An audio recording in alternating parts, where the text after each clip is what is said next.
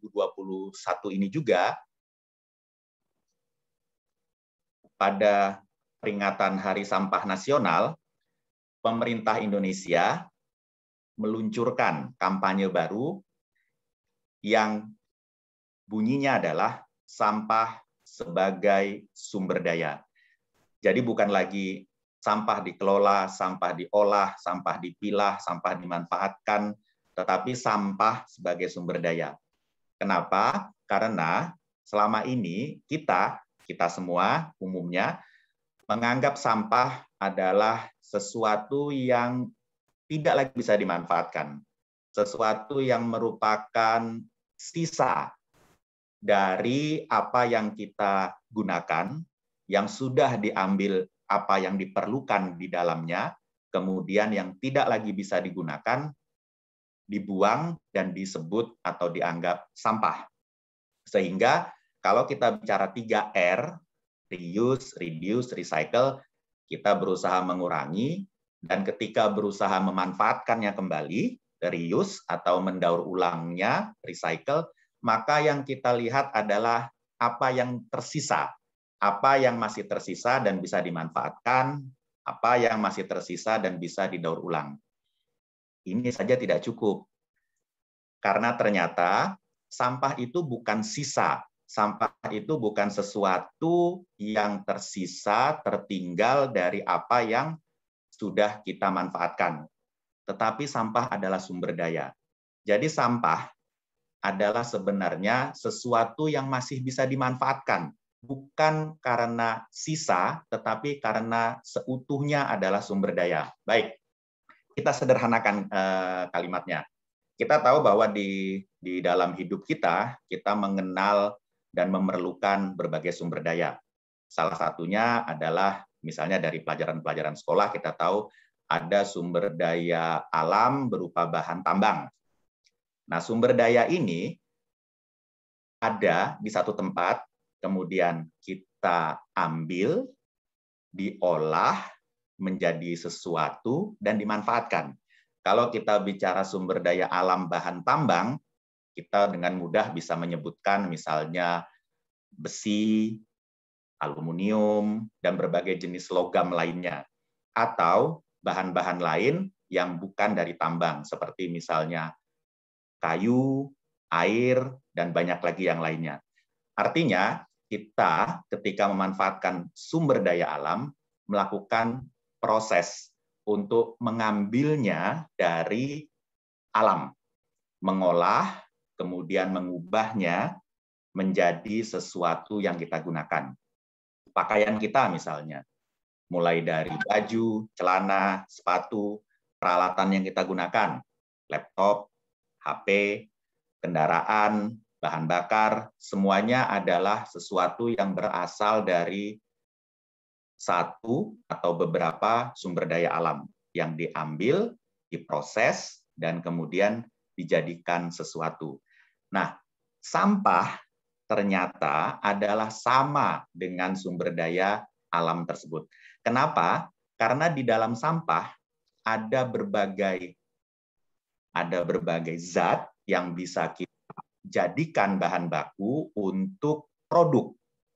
Oleh sebab itu, kalau kita melihat sampah sebagai sumber daya, maka kita akan melihat sampah sama seperti ketika kita melihat sumber daya alam yang umum dikenal. Kita sangat eh, apa ya, sangat paham bahwa sumber daya itu harus dijaga, dimanfaatkan sebaik-baiknya sehingga ketika ada bahan tambang misalnya atau ada air, ada sehingga kayunya bisa terus dimanfaatkan, air tidak Eh, tercemar sehingga terus bisa dimanfaatkan berbagai bahan tambang ditambang dengan bijaksana supaya terus bisa dimanfaatkan. Nah, kita memanfaatkannya dengan seksama karena kita menganggap sumber daya tersebut sebagai sesuatu yang berharga. Jadi ketika kita melihat ada sesuatu, misalnya logam yang ada di bumi, kayu yang ada di hutan atau air yang ada di sungai sebagai sesuatu yang berharga, karena dapat digunakan, dimanfaatkan, langsung maupun terlebih dahulu diolah menjadi sesuatu, maka kita akan memiliki perhatian yang lebih pada benda-benda tersebut. Nah, sekarang kalau kita melihat sampah, kita menganggap, ah cuma sampah. Ah, sesuatu yang tersisa, yang tidak ada lagi yang bisa dimanfaatkan. Kalaupun ada, cuma sedikit. Kalaupun ada, cuma sebagian. Tapi kalau kita melihat sampah itu sebagai sumber daya yang masih bisa dimanfaatkan, maka kita akan mulai berpikir, eh ini bukan sampah, tapi ini sumber daya. Nah, itu sebabnya pemerintah mencanangkan dan meluncurkan program sampah sebagai sumber daya.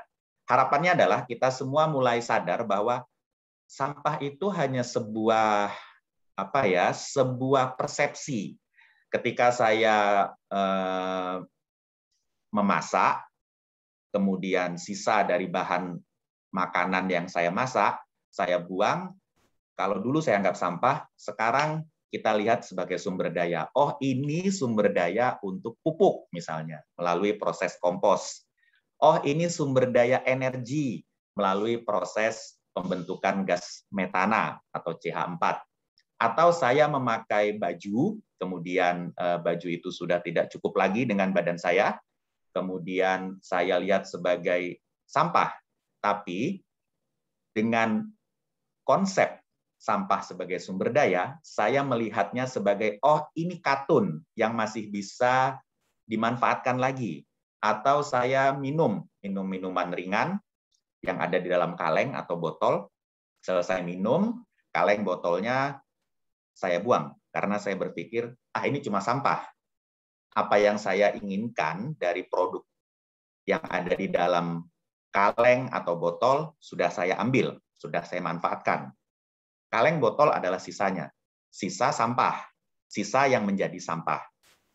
Tapi kalau kita melihat sampah sebagai sumber daya, maka kaleng, botol tadi kita lihat sebagai, oh ini kan aluminium yang bisa dimanfaatkan. Oh ini kan gelas kaca yang bisa digunakan untuk sesuatu yang baru. Aluminium ada di alam harus ditambang dulu, diproses, sebelum bisa dimanfaatkan menjadi banyak benda. Mulai dari apa yang ada di dapur, panci, kuali, sampai apa yang kita gunakan untuk bepergian, mobil, sepeda motor, termasuk menjadi bagian dari perangkat yang kita gunakan sehari-hari, laptop, HP. Bayangkan kalau kita menambang, maka prosesnya akan panjang dan juga memiliki risiko pada kelestarian lingkungan. Tapi kalau kita sudah punya aluminium dalam bentuk yang sudah ditambang, sudah jadi, yaitu kaleng minuman, maka sebenarnya kita sudah melewati sebagian dari proses memperoleh sumber daya. Sudah jadi, hanya bentuknya yang belum sesuai dengan kebutuhan kita, misalnya seperti itu.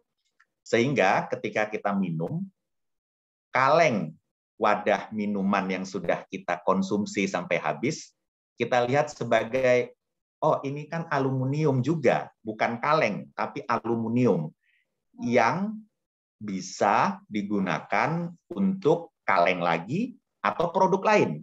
Selama zat aslinya tidak berkurang dan tidak berubah menjadi zat lain, maka masih bisa digunakan. Dengan demikian, kita akan melihat sampah bukan lagi sebagai sisa yang kemudian dimanfaatkan kembali atau didaur ulang, tapi kita melihat sampah sebagai sumber daya yang bisa digunakan untuk berbagai hal. Nah, sekarang kenapa kita perlu membicarakan memilah ketika kita melihat sampah sebagai sumber daya? Karena tadi sudah kita bahas bersama untuk mendapatkan sumber daya tertentu, misalnya aluminium tadi, kita melakukan proses penambangan. Yang kita gali dari bumi, bukan aluminium yang sudah berbentuk bongkahan atau berbentuk aluminium yang bisa langsung digunakan, tapi harus melalui proses panjang, dibersihkan dari zat-zat lain, kemudian dimurnikan, diproses, sampailah menjadi aluminium yang kita kenal dan kemudian diubah atau dibentuk menjadi sesuatu. Sama dengan sampah. Kalau kita ingin menjadikan sampah itu sumber daya, maka kita perlu proses. Sampah diolah lagi sehingga apa yang kemudian bisa menjadi sumber daya atau masih berupa sumber daya dapat digunakan. Hal itu akan menjadi sangat sulit bila mana sebentar saya akan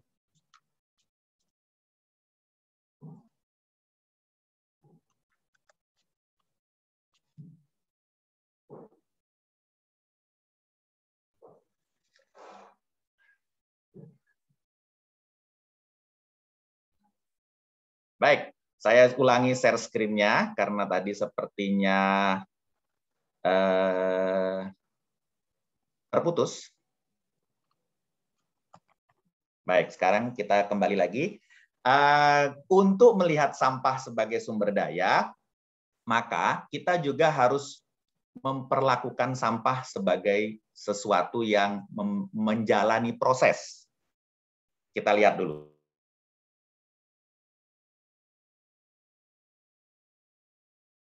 Kita lihat sampah itu seperti ini. Apakah di dalamnya ada sumber daya? Kira-kira kita bisa melihat sumber daya tidak di dalamnya? Ya, kita melihat ada, kalau dilihat benar-benar, ada botol, ada kertas karton, ada plastik, kemudian ada sisa kulit buah, dan ada banyak yang lain. Ini semua adalah sumber daya. Tapi kalau kondisinya seperti ini, maka sebelum bisa memanfaatkan sumber daya yang ada di dalam sampah, apa yang harus kita lakukan? Sama seperti ketika kita menambang, memilah.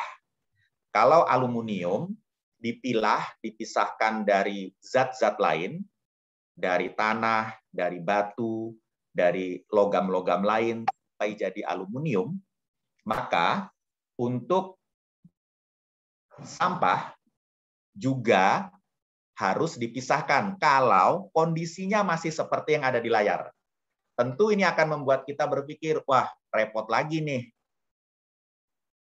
Kita harus melakukan proses untuk memisahkan sumber daya yang barangkali ada aluminium di dalamnya, ada kaca, ada plastik, ada kertas, dan ada sampah organik.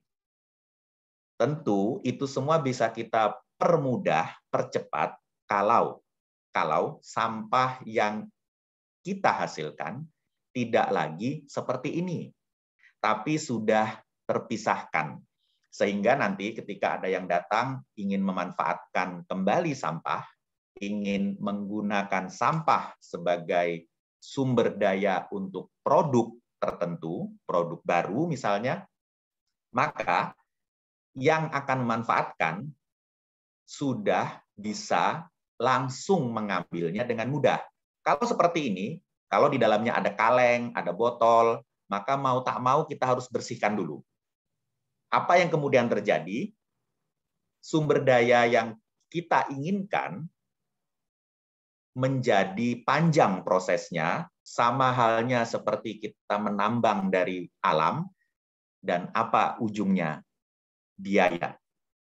Ketika kita ingin mendapatkan sesuatu dengan proses yang panjang dan dalam setiap prosesnya ada biaya, maka harga akhir dari produk yang kita inginkan akan mahal.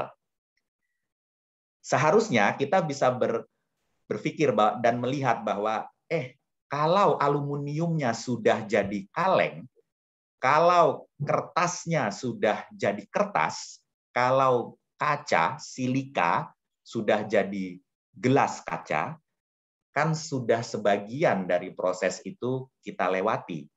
Kita tinggal mengubahnya saja. Tentu produk akhir akan lebih murah.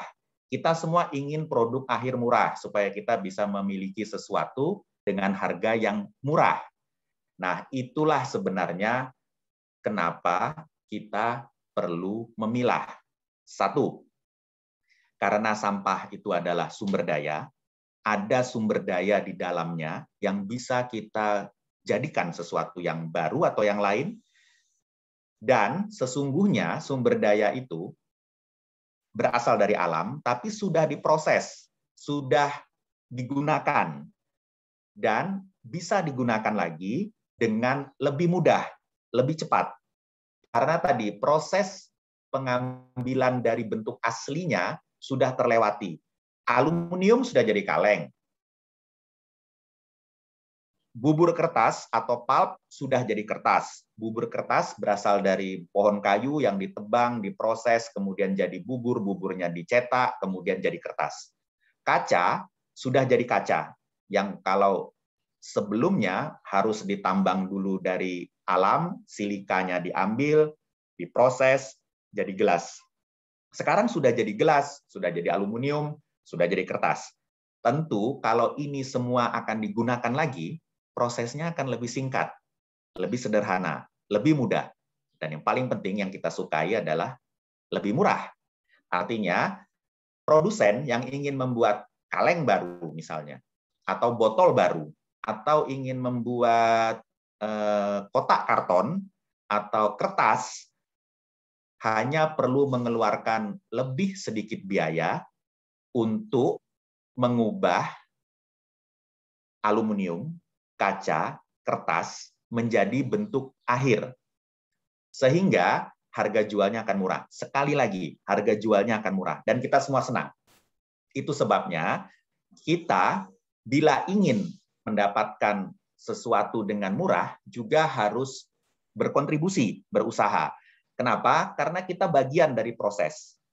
Apa kontribusi kita? Adalah dengan memilah.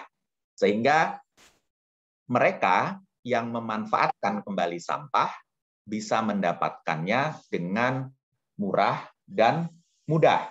Dan pada akhirnya, sekali lagi, kalimat yang paling saya sukai, harganya murah. Itu sebabnya memilah menjadi penting ketika kita ingin mendapatkan sesuatu dengan murah, ketika kita sadar bahwa sampah adalah sumber daya. Kalau tidak dipilah, seperti ini misalnya, maka siapa pun yang akan memanfaatkan aluminium, gelas kaca, kertas di dalam sampah ini harus bekerja keras untuk memisahkannya. Kertas bahkan mungkin akan rusak, tidak lagi bisa dimanfaatkan karena kita tahu sampah yang berasal dari sisa makanan misalnya, sisa bahan yang kita gunakan untuk memasak yang kita kenal dengan sebutan sampah basah atau sampah organik umumnya adalah sampah yang sesuai namanya basah, ada air di dalamnya. Kertas kalau terkena air akan rusak, akan kembali menjadi bubur kertas, kemudian akan hanyut bersama aliran air seperti di gambar ketika sampahnya terkena hujan yang sering terjadi air-air ini di Pontianak dan hilanglah sumber daya yang seharusnya bisa kita manfaatkan. Apa tadi? Pulp atau serat kayu untuk kertas. Karena sudah hilang akibat dari tercampur dengan sampah yang basah. Itu sebabnya proses pemilahan menjadi sangat penting. Kalau sudah terpilah semua dari awal, yang basah dipisahkan dulu dengan yang kering. Sehingga yang kering tetap kering dan tetap bersih karena meskipun sampah yang kita ingin ambil atau gunakan sebagai sumber daya itu tidak rusak karena air secara langsung, misalnya gelas kaca, tapi kalau tercampur dengan sampah basah yang berasal dari misalnya bahan makanan atau sisa bahan masakan, akan jadi kotor. Perlu dibersihkan dulu. Aluminium karena di dalamnya tidak tidak hanya aluminium tapi ada logam lain, besi terutama akan berkarat. Kalau berkarat tentu akan berkurang manfaatnya untuk dijadikan bahan baku produk baru. Sehingga memisahkan antara yang basah dan kering tidak hanya untuk menjaga supaya bahan lain yang bisa dimanfaatkan itu tidak hancur, tapi juga supaya bersih. Nah, kalau bersih, prosesnya jadi lebih mudah. Dari sini kita bisa melihat bahwa memilah menjadi lebih penting lagi. Kalau tadi kita melihat bahwa memilah menjaga produk tidak hancur. Sekarang kita tahu memilah juga membantu melindungi produk yang masih kita inginkan sebagai bahan baku tidak kotor. Akhirnya kita akan mendapatkan kondisi yang lebih baik. Kenapa? Karena ketika ketika misalnya bahan-bahan yang ingin kita gunakan itu kotor, maka kita tidak ingin menggunakannya, tidak ingin mengambil atau memanfaatkannya. Kita biarkan saja tercampur dengan sampah basah, seperti di foto ini.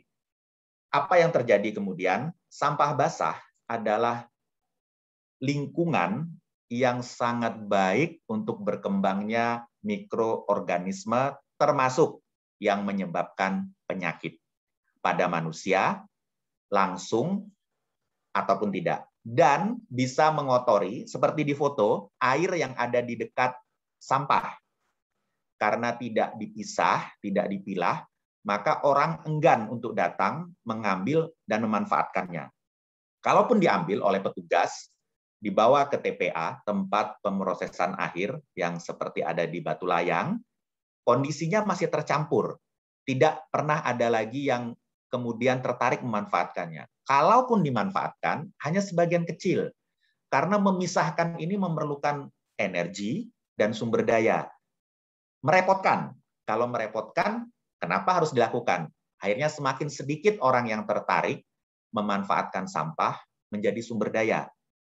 Dan sampahnya tetap dalam kondisi seperti yang kita lihat di foto. Akhirnya mencemari air dan juga tanah. Risiko akibat pencemaran air dan tanah pada akhirnya akan ditanggung oleh manusia. Kalau kita sudah memilah dari awal, sampah basah dipisahkan dengan sampah kering. Maka sampah keringnya akan diambil. Yang tertinggal sampah basahnya saja. Sampah basah ini kemudian lebih sedikit jumlahnya yang perlu diangkut oleh petugas dan lebih cepat proses pengangkutannya. Sehingga tumpukan sampah ini menjadi lebih sedikit dan lebih cepat bersih.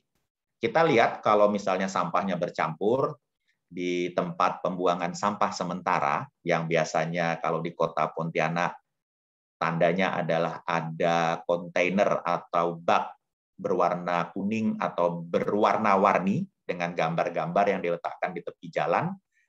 Petugas memerlukan waktu yang lama untuk mengangkut sampah. Karena di dalam sampah ini ada berbagai macam benda yang bobotnya cukup besar, cukup berat. Kalau di dalamnya ada kaleng, kalengnya terisi oleh sampah, kalengnya sendiri sudah cukup berat, ditambah dengan sampah basah, maka proses pengangkutan, pemindahan akan makan waktu. Mungkin mulai dari jam 11 malam, jam 6 pagi baru selesai.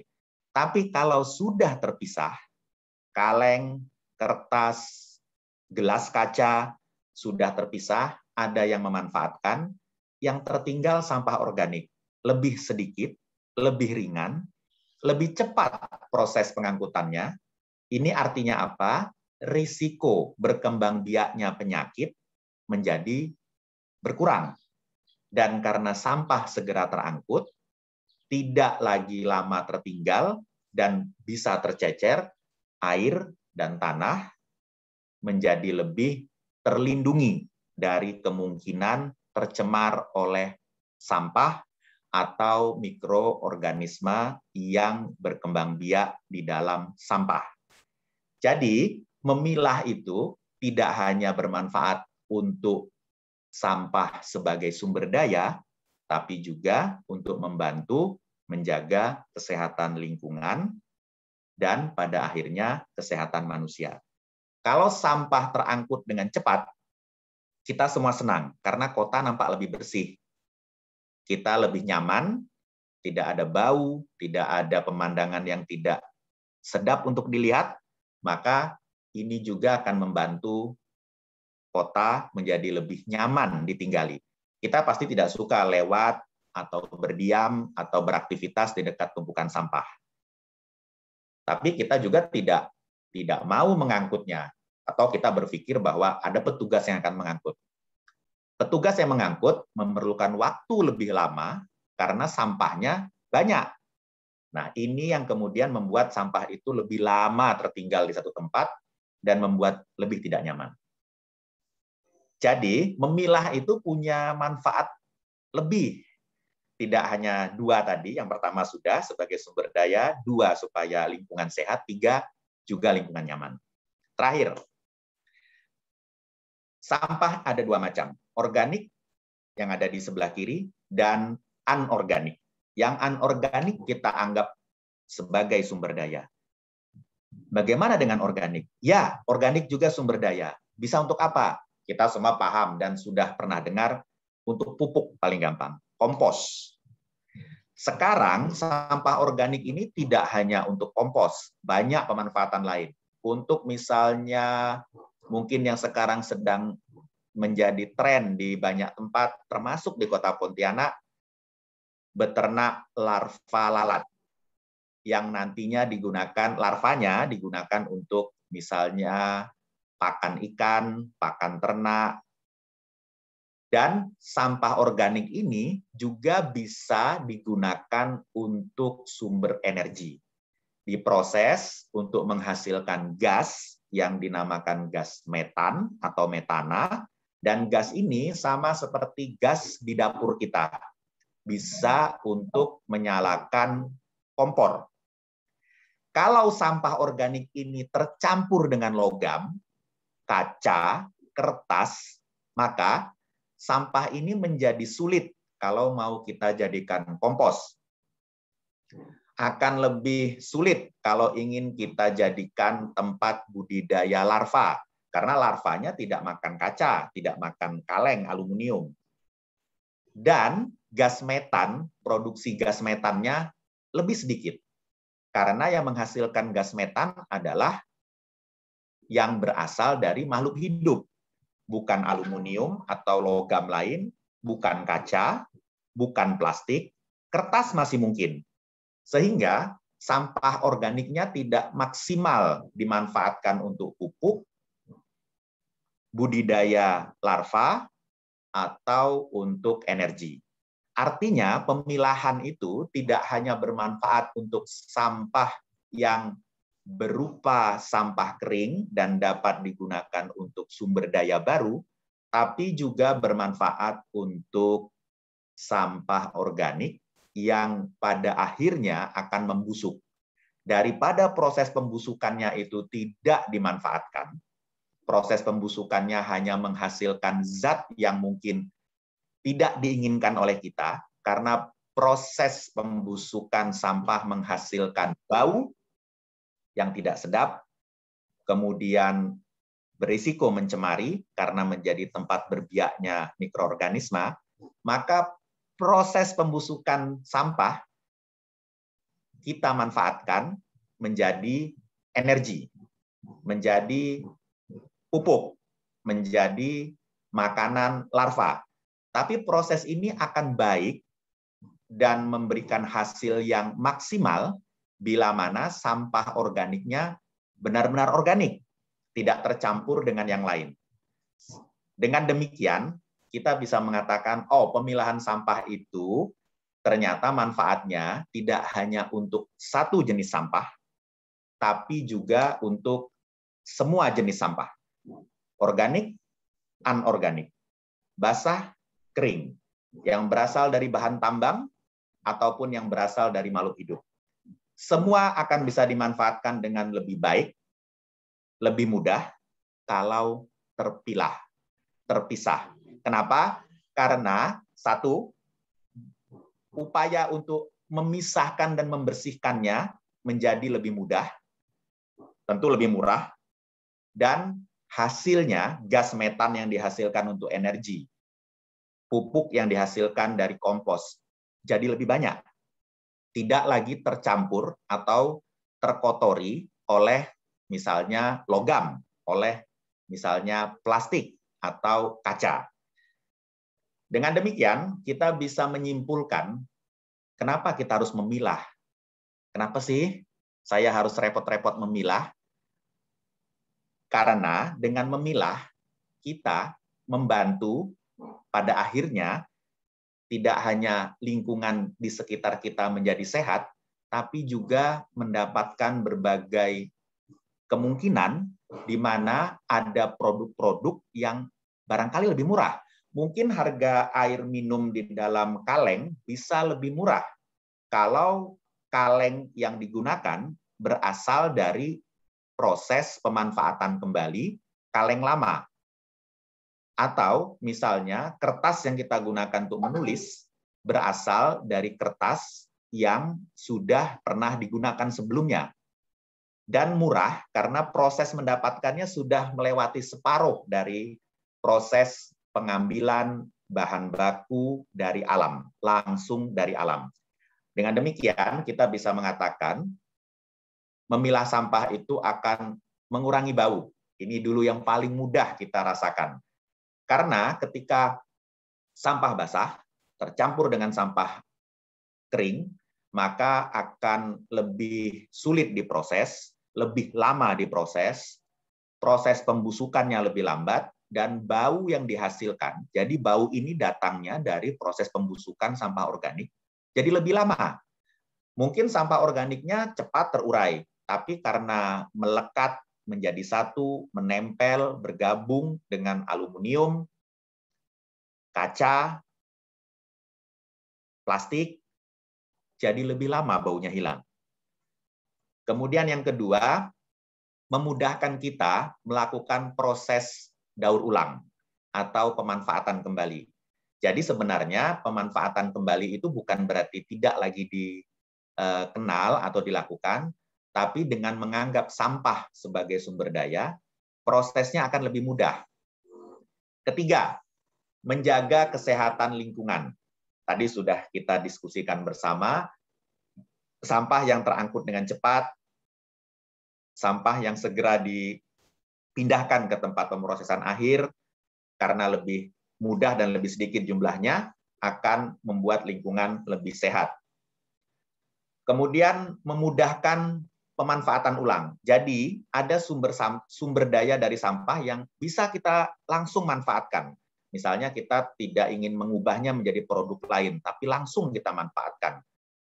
Dan dengan sudah terpilahnya sampah, pemanfaatan ulang ini sama seperti proses daur ulang, lebih mudah dan cepat. Dan terakhir, ini yang akan saya bahas secara khusus sekarang, memudahkan untuk dimanfaatkan menjadi pupuk atau energi. Jadi, yang kita lihat, saya akan kembali ke awal. Nah, ke sini. Jadi yang kita lihat adalah bahwa sebenarnya berbagai macam jenis sampah yang ada di sebelah kiri layar, sampah sebagai resources, sebagai sumber daya, itu ada banyak jenis. Mulai dari yang dihasilkan oleh manusia itu sendiri, sampai dengan yang dihasilkan oleh industri. Semuanya bisa digunakan kembali. Kita sudah tahu bahkan ilmu pengetahuan sudah mengetahui dengan baik bahwa segala jenis sampah itu sebenarnya bisa digunakan ulang menjadi produk yang ada di sebelah kanan gambar. Ada misalnya menjadi eh, pupuk, menjadi bahan industri melalui proses yang ada di tengah, yang berwarna-warni di tengah. Jadi gambar ini kita lihat sebagai segala jenis sampah itu sebenarnya sudah diketahui pemanfaatan ulangnya untuk apa. Melalui berbagai proses yang ada di tengah. Nah, proses ini akan mudah kalau semua sampah itu sudah terpisah. Mudah dalam arti kata, lebih cepat, lebih murah. Kita bisa berkontribusi dengan ikut berperan, tidak mungkin pada proses pengubahannya, tapi mempermudah proses pengubahan dan pemanfaatan sampah. Kalau dulu, kalau dulu kita melihat sampah berasal dari bahan baku, kemudian diproses bahan baku diproses di dalam industri, kemudian dibawa ke pasar, kita gunakan nomor empat, jadi sampah. Karena manfaatnya sudah habis, jadi sampah. Dulu sampah ini langsung ke TPA. Langsung kita buang ke TPS, tempat pembuangan sampah sementara, TPA, tempat pemrosesan akhir sampah. Tapi sekarang dengan melihat sampah sebagai sumber daya, dengan memilah, maka sampah itu bisa dikumpulkan oleh mereka yang memerlukannya, kemudian digunakan kembali, dan memanfaatkan energi yang berasal dari proses pembusukan sampah. Sehingga proses ini akan berubah dari tadinya hanya nomor 1, 2, 3, 4, 5 langsung ke 9. Dengan memilah, maka kita akan bisa melakukan proses 6, 7, 8. Memanfaatkan sampah. Ini sudah, jadi saya akan lanjut ke yang bagian akhir. Bagian akhir dari presentasi saya. Ketika kita memilah sampah, maka pada pada dasarnya kita memilah menjadi dua kelompok besar. Kering, basah. Basah ini sudah kita ketahui adalah basah bukan dalam pengertian basah karena tersiram air, tapi karena sifatnya. Sifat sampah yang menghasilkan cairan. Misalnya sisa sayur, sisa makanan, yang ketika kita biarkan membusuk, maka dalam proses pembusukannya ada cairan yang dihasilkan. Dan sampah kering. Nah, sampah kering ini perlu kita pilah lagi. Karena masing-masing jenis berbeda pemanfaatan kembali. Berbeda pemanfaatannya kembali. Ada logam, ada kertas, ada plastik, ada kaca. Ini adalah empat kelompok besar sampah kering. Ada kelompok lain, tapi kita umumnya yang kita gunakan sehari-hari empat kelompok besar ini. Logam, contohnya tutup botol, minuman kaleng, kertas pembungkus makanan, aluminium foil, kemudian kertas, baik yang kita gunakan untuk menulis, membungkus paket, untuk keperluan lain seperti misalnya kotak ketika kita membeli sepatu, plastik, botol minuman, botol kosmetik, botol dari berbagai produk lainnya, sabun, sampo, atau kaca. Kaca misalnya botol minuman yang ada di dalam kaca, minuman misalnya vitamin atau minuman energi. Nah, empat ini yang sering kita temukan. Dan empat inilah yang paling mudah dimanfaatkan kembali. Jadi ketika kita memilah, maka setelah kita pisahkan kering dan basah, kita akan bisa bantu proses pemanfaatan ulang untuk mendapatkan produk yang kita harapkan lebih murah, lingkungan yang lebih bersih, proses pengangkutan yang lebih cepat, dengan memilah lebih lanjut. Sampah keringnya kita pilah lagi menjadi logam, kertas, plastik, kaca, terpisah dari sampah basah yang merupakan sampah organik.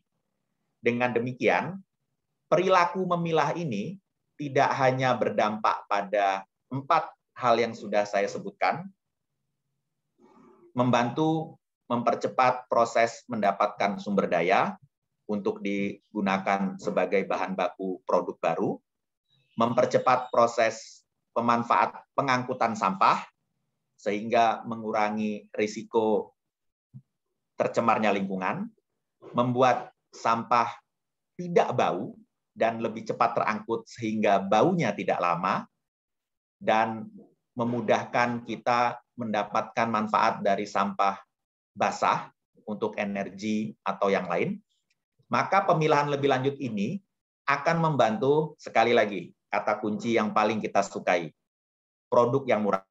Artinya kalau sampah keringnya masih tercampur, mereka yang memerlukan logam harus memisahkannya dulu dari kertas karena mereka tidak memerlukan kertas. Atau mereka yang ingin membuat produk baru dari plastik harus memisahkannya dulu dari logam. masih ada biaya tambahan. Tapi kalau sudah terpisah, logam, kertas, plastik, kaca, yang perlu plastik, langsung ambil plastik. Yang perlu logam, langsung ambil logam. Siapa mereka? Perusahaan yang mendaur ulang sampah atau yang menggunakan sampah untuk bahan baku produk-produk sejenis atau produk baru. Dengan demikian, biaya sekali lagi akan ditekan, bisa ditekan atau bisa dikurangi. Mereka tidak perlu lagi memisahkan antara sampah yang logam dengan plastik, dengan kertas, dengan kaca, tapi langsung diambil. Oh ini plastik, ini bagian saya. Oh ini logam, ini yang saya perlukan. Oh ini kertas, ingin saya manfaatkan kembali. Begitu juga dengan kaca. Dengan demikian, proses menjadikan sampah sebagai sumber daya bisa lebih efisien lagi setelah kita pisahkan antara yang basah dan yang kering, dan yang kering kita pisahkan menjadi beberapa jenis sampah yang kemudian dapat langsung dipilih, diambil, dan dimanfaatkan oleh mereka yang memiliki usaha daur ulang.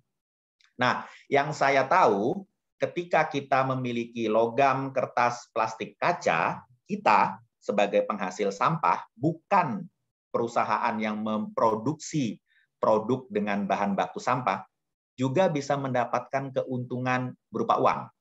Kita jual kaleng sisa minuman, plastik bekas botol minuman sekali pakai, sekali minum, atau minuman yang dikonsumsi habis, kertas, kaca. Tapi kita juga sadar bahwa ah, nilainya kecil. Kalau kita mau menjual plastik, mungkin kita perlu puluhan atau ratusan kilo untuk mendapatkan beberapa ratus ribu rupiah. Atau kita mau menjual kertas, kita perlu belasan kilo untuk bisa mendapatkan beberapa ratus ribu rupiah. Nah, plastik, kertas, satuannya kan ringan. Mungkin kita perlu satu karung besar plastik, baru kita bisa dapat berat 1-2 kilo. Atau kita perlu satu kardus kertas baru bisa dapat 5-6 kilo. Nah, ini kan menjadi kadang-kadang membuat tidak menarik. Kita mau memanfaatkan sampah untuk dijual dan mendapatkan sedikit uang, perlu waktu lama. Jangan-jangan ketika disimpan menunggu jumlahnya cukup banyak, produk ini sudah keburu rusak atau malah membuat rumah menjadi gudang baru, gudang sampah berantakan. Tapi kita juga ingin agar ini dimanfaatkan. Maka di sinilah peran dari kerjasama atau pihak-pihak yang menawarkan jasa untuk mengumpulkan sedikit demi sedikit, kemudian ketika jumlahnya sudah banyak, tidak perlu kita kumpulkan di rumah, tapi mereka yang bantu mengumpulkan, dijual, dan kita mendapat bagian. Jadi bagi hasil. Seolah-olah kita seperti menabung saya serahkan botol plastik 5 atau 6 per hari, kaleng mungkin ada 5 atau 6 per hari, kertas mungkin lebih banyak, kaca mungkin lebih sedikit ke mereka dan kemudian mereka akan menyimpannya sementara untuk kita, menjualnya ke mereka yang menggunakan sampah sebagai sumber daya dan ketika dibayar kita juga menerima bagian kita. Siapa yang melakukan ini? Salah satunya yang akan bicara setelah saya, Bang Hafiz Waliudin dengan program Angkutsnya. Nah, jadi memilah ini ada juga manfaat tambahan, yaitu membantu satu, kita bisa mendapatkan penghasilan, meskipun mungkin jumlahnya tidak besar, tapi ada yang bisa kita dapat. Dua, ini yang paling penting, membuka peluang kerja baru. Artinya ada mereka yang kemudian mengisi kebutuhan antara mereka yang mencari sampah sebagai sumber daya, perusahaan-perusahaan yang mengolah sampah, dan kita yang menghasilkan sampah, yaitu mereka yang mengambilnya ke rumah kita, contohnya Angkuts, mereka yang menyimpannya sementara untuk kita, contohnya bank sampah, mereka yang kemudian membantu mendistribusikannya ke pabrik-pabrik pengolahan bahan baku, perusahaan tertentu misalnya.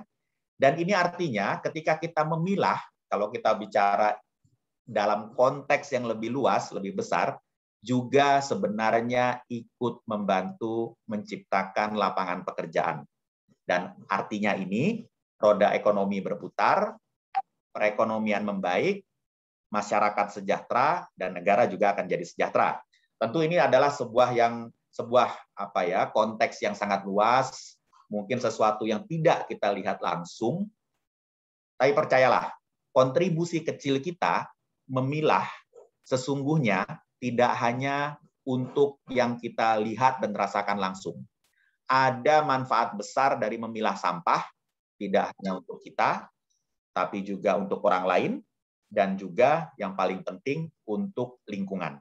Karena ketika kita membantu menyediakan sampah yang siap diproduksi, digunakan untuk produksi, maka mereka yang memerlukan aluminium tidak lagi harus mengambil semua dari alam. Memang tidak 100% sampah bisa menjadi produk baru. Aluminiumnya sudah berkurang, tetap harus ditambah dengan aluminium baru yang didapat dari alam, yang ditambang dari alam. Tapi setidaknya kita mengurangi mengurangi proses yang mengambil bahan baku dari alam yang kita tahu tidak bisa dihasilkan kembali. Sekali kita ambil biji-biji besi atau biji-biji aluminium dari alam, maka mungkin perlu jutaan tahun untuk terbentuk kembali melalui proses fisik, kimia, geologi. Atau sekali kita menebang hutan untuk mendapatkan kertas, perlu puluhan tahun untuk pohonnya bisa ditebang kembali jadi kertas lagi. Sehingga kita sebenarnya ikut melestarikan lingkungan, membuat hutan tetap ada atau lebih sedikit yang harus ditebang, tambang menjadi lebih efisien karena jumlah yang diambil tidak serta-merta membuat apa yang tersisa, cadangan yang ada di bumi itu habis karena sudah ditutupi atau dipenuhi oleh sampah. Penutup kata, memilah sampah adalah sebuah perilaku yang mungkin eh, terdengar sederhana dan ya kita sendiri kadang malas melakukannya. Karena kadang saya juga berpikir, ah sudahlah ini cuma satu botol di antara satu kantong bekas sayur, sudahlah campur saja.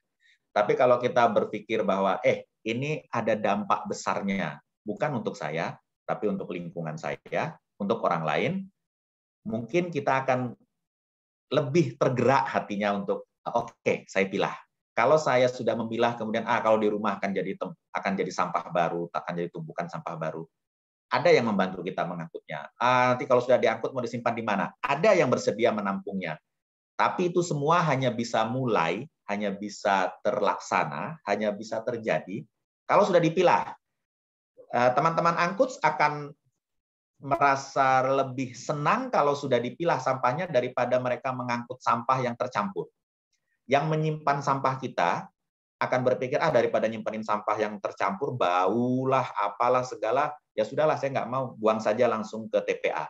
Tapi kalau sudah terpilah mereka akan sangat senang dan ketika itu dilaksanakan maka rantai dari proses yang tadi kita diskusikan akan semua terwujud sampai pada akhirnya yang sangat besar konteksnya, yang sangat luas konteksnya adalah jadi lebih sejahtera kita semua. Baik, demikian semua presentasi saya. Semoga ada manfaatnya. Mohon maaf bila ada kekurangan. Saya akhiri dengan terima kasih dan jangan lupa pilah sampah semampu kita. Mulailah dari sekarang. Mungkin manfaatnya tidak langsung kita rasakan, tapi percayalah, hal kecil yang kita lakukan akan memberi manfaat besar bila kita lakukan terus-menerus dan kita lakukan tanpa lelah. Terima kasih. Saya tutup dengan selamat pagi dan Assalamualaikum warahmatullahi wabarakatuh. Waalaikumsalam warahmatullahi wabarakatuh. Waalaikumsalam warahmatullahi wabarakatuh.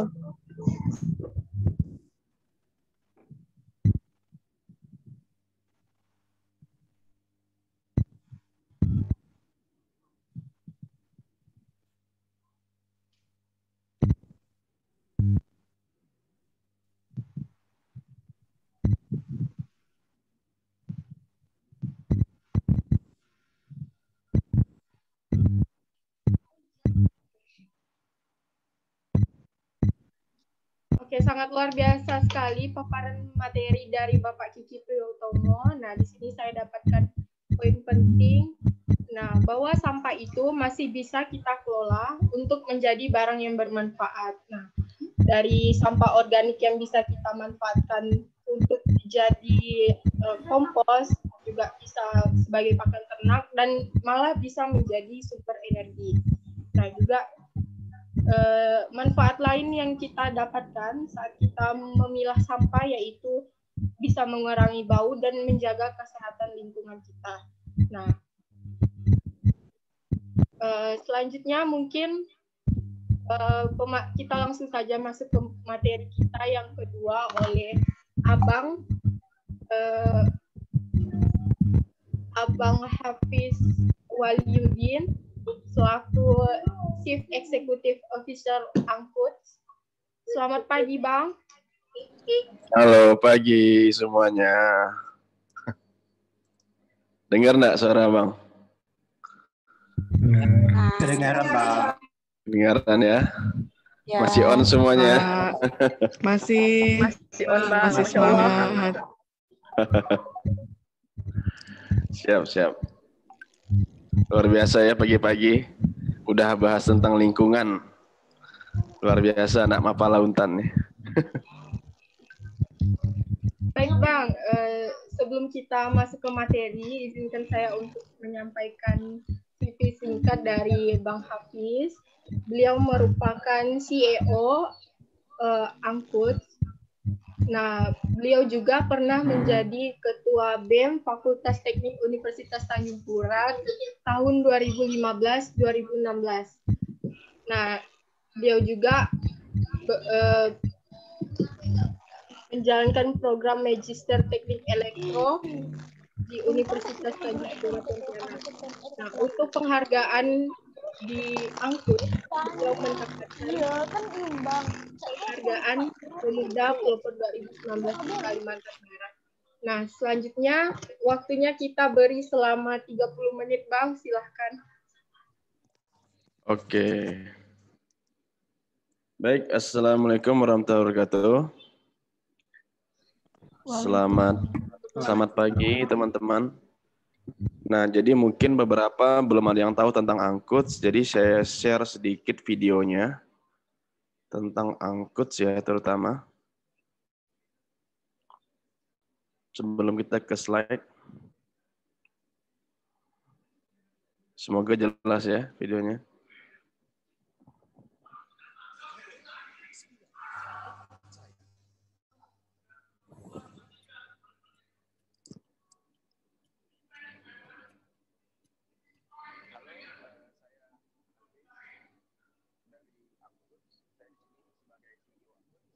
Oh, mohon maaf, Bang, suaranya nggak kedengaran. Apakah emang tidak ada ya? Bentar ya.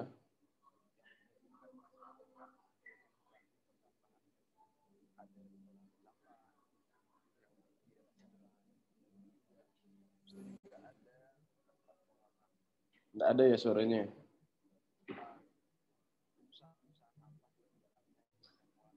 Tapi dilihat substitutnya ya. Ada ya.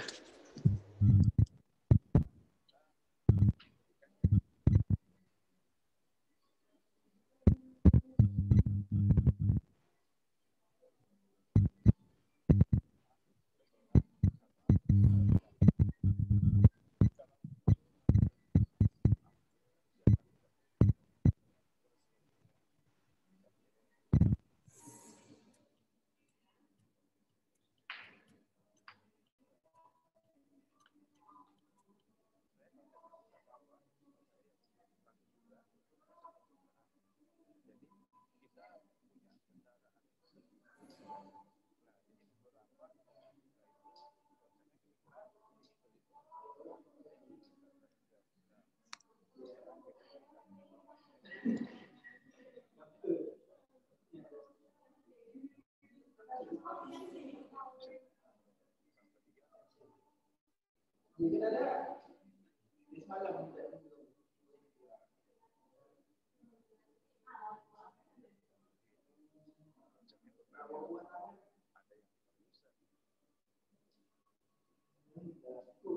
bentar.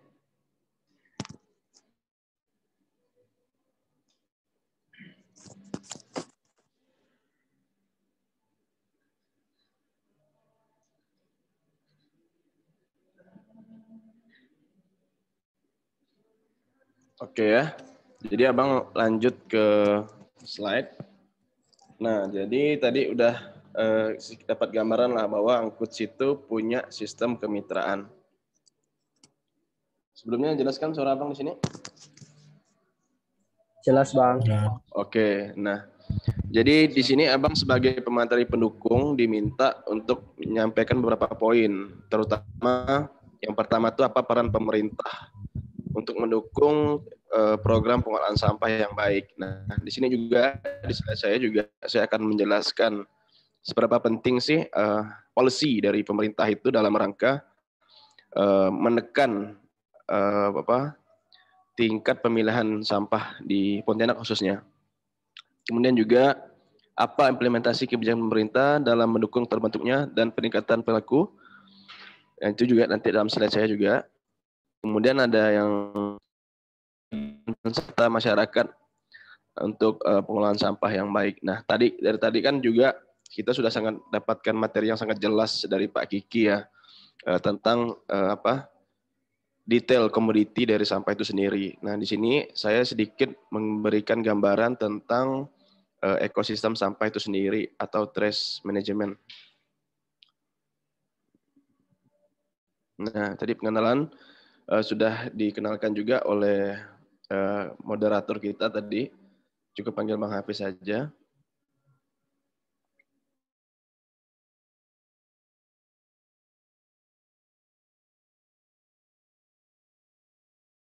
gitu ya eh, apa bahwa tukang sampah itu kotor kemudian miskin kerjanya tidak benar gitu kan nah sebenarnya kalau kita di, dilihatkan gambar seperti ini kalau kita sebagai mahasiswa orang-orang intelektual tentu kita mikir gitu kan apa yang salah gitu. Tentu yang salah sistem tata kelola gitu kan.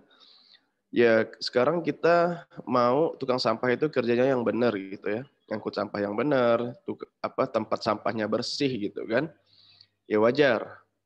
Uh, kita, uh, apa mereka tuh gitu kerjanya. Karena pendapatan yang mereka dapatkan itu sedikit atau di bawah standar atau di bawah rata-rata. Nah, jadi kalau adik-adik ngikutin perkembangan sampah ya, jadi teman-teman dari West for Change, kalau nggak salah saya itu ada nge-share tentang bahwa mereka tuh dapat uh, studi, uh, dapat apa kayak semacam uh, studi, studi, mereka tuh ngam, apa diminta untuk berapa sih harusnya tukang sampah itu pendapatannya gitu per bulan per rumah. Nah, harusnya itu 85.000 standar minimalnya. Nah, tapi kalau sekarang kita lihat di kita sendiri ya lah Pontianak misalnya. Ada yang 20 ribu, ada yang 30 ribu. Bahkan kami dari angkut saja itu minimal untuk perumahan itu 50 ribu. Di bawah standar dari uh, studi kelayakannya gitu. Nah, itu kan menandakan bahwa memang ada yang salah kelola persampahan kita.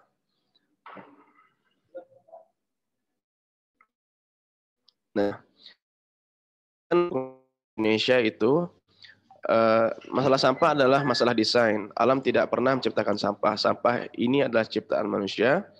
Masalah sampah ini ada karena desain manusia, desain yang manusia buat sangat buruk. Nah, jadi kita bisa melihat lah ya uh, tata kelola di sini. Kemudian, nah jadi data BPS itu uh, 11% sampah itu dipilah dan dimanfaatkan, kemudian ada 13% dipilah di rumah dan campur lagi, kemudian sisanya itu tidak dipilah. Nah, pasti di, di sini saya yakin ada beberapa adik-adik yang sudah mencoba untuk memilah sampah di rumahnya. Sudah dipilah, nah kemudian uh, dengan sadar lah gitu ya, ternyata sadar gitu, ternyata di dalam pengelolaan sampah di Pontianak itu, eh di TPS-nya dicampur lagi gitu kan. Nah, jadi pada dasarnya beberapa orang tuh sudah berusaha untuk milah, tapi karena uh, manajemen yang kita miliki masih buruk ya, jadi ujung-ujungnya sampahnya tercampur lagi gitu kan. Nah, itulah yang terjadi. Jadi orang yang mau milah sampah juga tidak mau. Nah, ini uh, foto yang saya ambil udah lama ya. Mungkin 3 4 tahun yang lalu. Kalau sekarang setahu saya uh, sudah agak rapi karena beberapa mereka rapikan di TPA Batu Layang. Nah, jadi kalau kita melihat gitu kan, uh, luar biasa potensi sampah yang tadi juga sudah jelaskan oleh Pak Kiki. Nah, jadi di Indonesia ada 7% sampah masuk dalam sistem daur ulang. Bayangkan hanya 7% dari sampah yang ada. Sayang banget kan kalau tidak dimanfaatkan. Nah, apa yang terjadi sekarang? Nah, bisa kita lihat gitu kan. Yang terjadi sekarang itu linear ekonomi. Jadi uh, yang tadi yang saya bilang bahwa tata kelola yang buruk. Jadi sumber daya alam, kemudian diproduksi, kemudian kita konsumsi makanannya, nah kemudian jadi sampah ke TPA gitu kan. Kemudian bahan kimia pupuk gitu kan, masuk dalam uh, ekosistem pertanian, jadi makanan, jadi sampah, habis itu masuk ke TPA. Unsustainable gitu kan. Jadi uh, linear gitu ekonomi. Nah, jadi ini seperti gunung es gitu ya. Memang kita lihat masalahnya hanya di atas gitu ya. Tapi di bawah banyak sekali uh, masalahnya, masalah yang besar gitu kan yang kita hadapi. Sekarang kita merasa Pontianak uh, memang masalah sampahnya sudah tercover gitu ya. Masalah sampahnya sudah tercover, kita turun pagi-pagi kerja, TPS-nya bersih gitu kan tapi tidak tahu di TPA sana ada masalah yang lebih besar gitu. Inilah menggambarkan gunung es tadi. Nah, jadi lima aspek pengolahan sampah ada lima poin di sini. Nah, salah satunya kan regulasi. Ini saya gambarkan seperti sebuah eh, jam, mesin jam gitu ya. Kalau adalah salah satu aja yang kurang atau kurang maksimal, pasti jam ini kurang maksimal juga performanya. Nah, jadi pentingnya regulasi di sini, kemudian institusi, itu ada pendanaan, teknik operasi, kemudian yang terakhir ya partisipasi semua pihak. Nah, kita kan juga sudah sangat terbiasa dengan konsep 3R gitu ya. Reduce, reuse, dan recycle. Nah, jadi teman-teman pasti sudah tahu lah ya, bagaimana kita mencoba untuk mengurangi penggunaan uh, barang sekali pakai, kemudian kita uh, diminta untuk uh, reuse gitu ya, menggunakan kembali Eh, barang-barang yang bisa dimanfaatkan. Kemudian recycle terakhir. Nah, jadi sampah itu diolah. Nah, yang kita harapkan adalah ini, circular economy. Jadi impiannya ya bagaimana sampah yang kita pakai, eh, bukan sampah, maksudnya barang yang kita pakai jadi barang itu lagi gitu ya. Misalnya botol plastik yang kita pakai ya jadi botol plastik itu lagi gitu. Nah itu yang kita harapkan. Jadi bagaimana kita merecovery dari eh, barang-barang uh, yang kita pakai. Nah, bisa, bisa dilihat di sini. Nah, kemudian, nah jadi pada dasarnya masalah persampahan di Indonesia itu adalah tata kelola. Jadi kalau tata kelolanya baik gitu ya, ya tentu uh, semuanya juga baik. Nah, di sini kalau dari angkut sendiri kita berfokus kepada aktornya dulu. Kita belum fokus kepada komoditi seperti yang tadi dijelaskan Pak Kiki gitu ya bahwa kita sampai sekarang memang berfokus kepada kesejahteraan dulu dari si si driver atau tokoh utama dari penanganan sampah gitu. Nah, tapi saya sangat yakin gitu ya dengan adanya uh, kontribusi dari pemilihan yang baik di sumber itu sangat membantu para driver kami dalam dalam melakukan pemilihan. Uh, karena driver kami tidak hanya mengangkut, tapi mereka juga uh, memilah sampah-sampah yang bisa untuk diperjualbelikan. Nah, di sini Angkut untuk versi satu aplikasinya bisa diunduh di Google Play Store atau silakan dicek di beberapa kanal sosial media kita, Angkut di Instagram dan lain-lainnya. Nah, kita sekarang baru beroperasi di Pontianak, sekarang kita lagi development untuk versi kedua. Nah, jadi pada gambaran sederhananya gini, sebelum bergabung dengan Angkut itu, uh, ini tukang sampah yang kita miliki sebelumnya ya. Dia tidak punya kendaraan, tidak punya apa keamanan untuk dalam rangka ngangkut sampah. Intinya pendapatannya satu jutaan ketika sebelum gabung sama kita.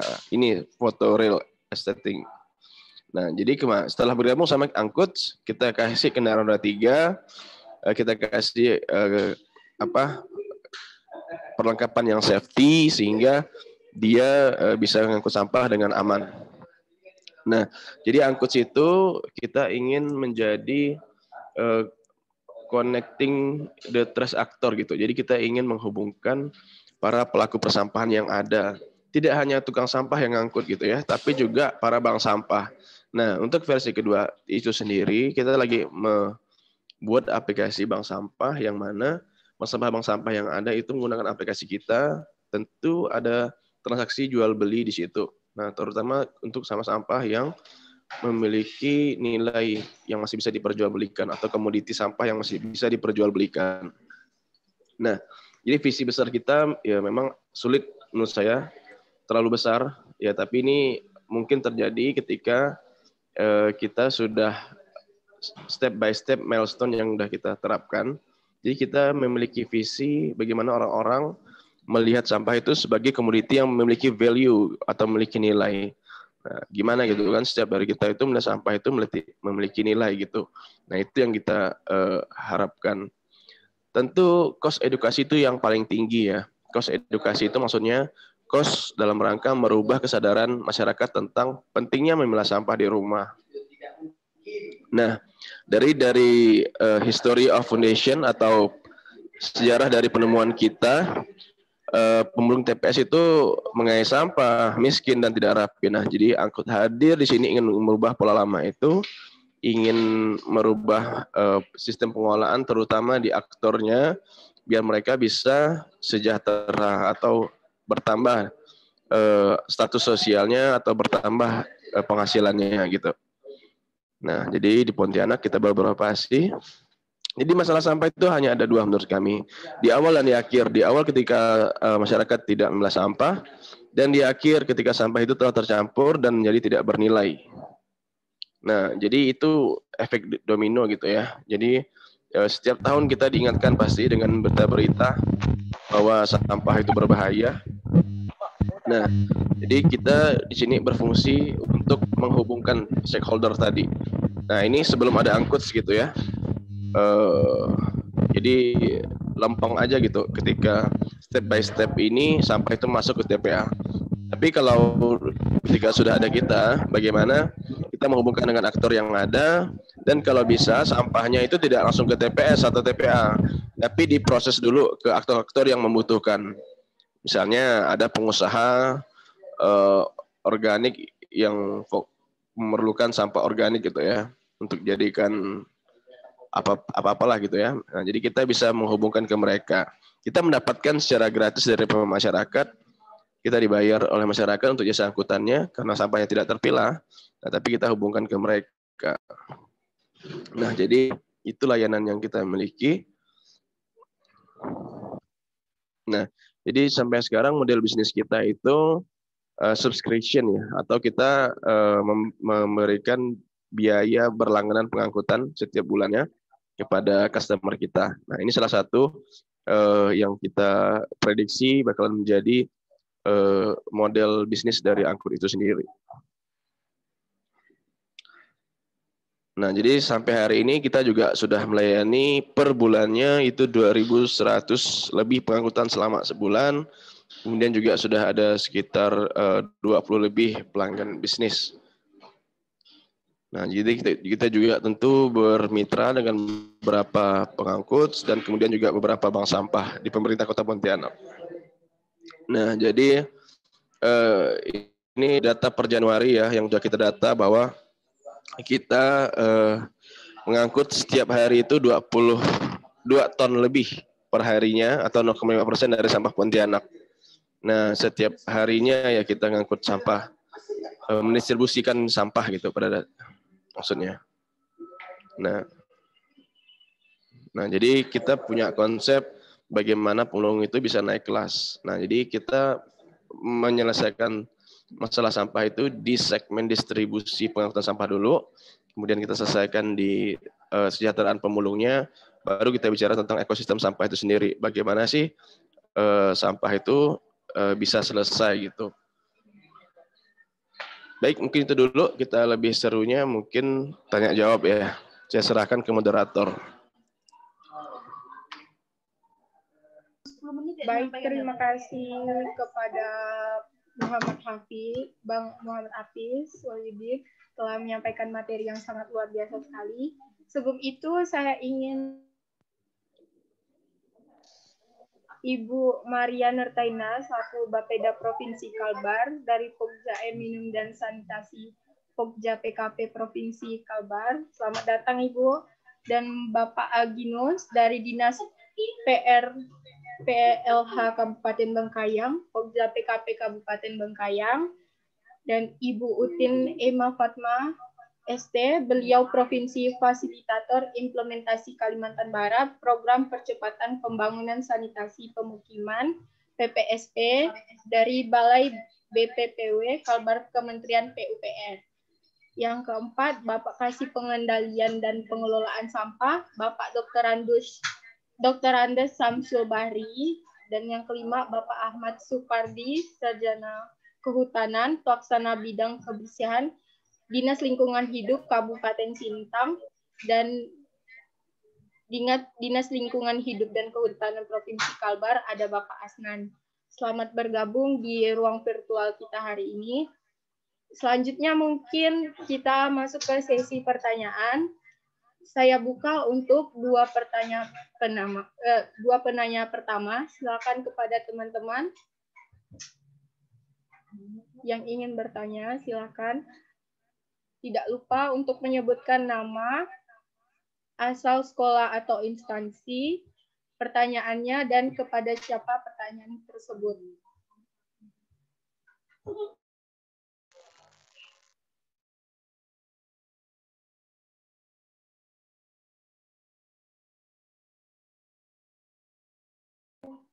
Kepada Mazaya, silakan. Perkenalkan dirinya terlebih dahulu.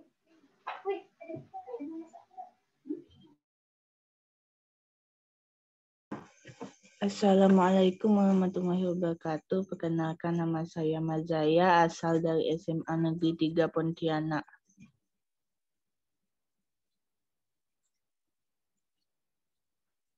Di sini saya ingin bertanya, Kenapa harga produk dari daur ulang sampah seperti kotak pensil atau tas harganya lumayan mahal? Bisa enggak kalau harga promosinya ditekan sehingga harga produk lebih terjangkau? Sekian dari saya. Terima kasih. Assalamualaikum warahmatullahi wabarakatuh. Terima kasih, Mas Zaya. Mungkin bisa dijawab oleh Pak Kiki.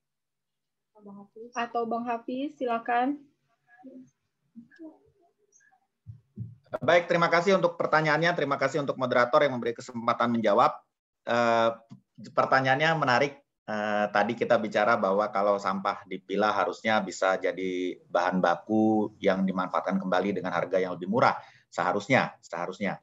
Tapi faktanya masih mahal. Nah, ini pertanyaan yang menarik dengan jawaban yang eh, tidak sederhana. Jadi kita tahu bahwa harga sebuah produk itu ditentukan oleh banyak faktor, tidak hanya bahan baku. Bahan baku adalah salah satu di antaranya. Ada faktor-faktor lain yang eh, ikut mempengaruhi, seperti misalnya adakah yang mau beli. Kalau produk itu dibeli oleh banyak orang, artinya yang menginginkannya banyak, maka itu juga bisa membuat produk jadi mahal karena yang yang pengen punya banyak yang memproduksi sedikit, atau produk bisa murah karena yang membeli banyak, produsen bisa mendapatkan keuntungan sedikit dari setiap barang, tapi karena yang beli banyak, keuntungannya bisa besar. Artinya produsen pasti akan menghitung untung rugi ketika menetapkan harga produk, harga akhir dari sebuah produk. Terlepas dari apa bahan bakunya. Bahan baku adalah satu di antara beberapa faktor yang mempengaruhi harga akhir. Jadi kalau misalnya harga produk daur ulang sampah itu masih mahal, tentu sebabnya bisa kita cari atau kita lihat dari faktor lain. Berdasarkan pengalaman, sebagian besar yang menyebabkan harga produk daur ulang sampah masih terasa mahal itu adalah satu, pembelinya tidak banyak, sehingga produk itu cenderung menjadi produk eksklusif sesuatu yang eksklusif harganya biasanya tinggi karena produsen berpikir kalau harganya murah maka dibandingkan dengan lama waktu laku terjualnya atau diperlukannya barang tidak seimbang. Jadi harga juga dipengaruhi oleh berapa lama investasi yang dilakukan oleh produsen akan kembali kepada si produsen. Kalau barangnya cepat laku, mungkin harganya bisa lebih murah karena produsen bisa menggunakan uang yang diinvestasikannya untuk produksi berikutnya. Kemudian yang kedua, yang menyebabkan harganya menjadi cenderung cukup mahal adalah proses pembuatannya belum produksi massal. Jadi kalau kita bicara produk, salah satu yang membuat produk itu murah adalah ketika bisa diproduksi besar-besaran dalam jumlah banyak. Tapi kalau diproduksi kecil sedikit dengan tenaga manusia, belum mesin, maka nilainya akan maka biayanya akan bisa lebih besar karena biaya satuan yang dikeluarkan per pros, per proses untuk menjadikannya produk juga lebih besar. Nah, untuk itu kalau kita ingin mendapatkan sebuah produk akhir dari pemanfaatan ulang sampah dengan harga yang eh, dalam tanda kutip menyenangkan semua orang, menyenangkan si pembuat, menyenangkan si pembeli, tentu ini memerlukan eh, banyak hal dan kerjasama. Artinya kalau mungkin, mungkin ya, mungkin ini mungkin kita semua eh, lebih senang menggunakan eh, kotak pensil dari hasil daur ulang, barangkali harganya akan jadi murah, barangkali. Atau ketika kita semua tidak lagi berpikir untuk ah cari kotak pensil lain lah yang lebih menarik tanpa memperhatikan apakah ini daur ulang atau tidak. Tapi kemudian kita berpikir, yuk cari produk daur ulang uh, sekalian untuk membantu menyelesaikan permasalahan sampah misalnya seperti itu. Sehingga permintaan meningkat, mungkin produk akan bisa lebih murah. Jadi artinya uh, untuk sementara kita memang harus uh, bergantung pada keputusan penjual untuk menetapkan harga. Dan pada akhirnya keputusan kita untuk membeli atau tidak itu akan mempengaruhi penetapan harga oleh si penjual. Jadi ada hubungan timbal balik. Kalau ditanya kenapa, tidak bisa kita, saya pribadi tidak bisa mengatakan kenapa, ada banyak faktor, tapi apakah harga bisa berubah menjadi lebih memuaskan semua orang? Bisa, kalau setiap faktor yang mempengaruhi itu kemudian dibuat sedemikian rupa hingga harganya lebih memuaskan. Memuaskan untuk siapa? baik pembuat, produsen, maupun pembeli. Terima kasih moderator. Baik, terima kasih Bapak. Mungkin satu penanya lagi, silakan.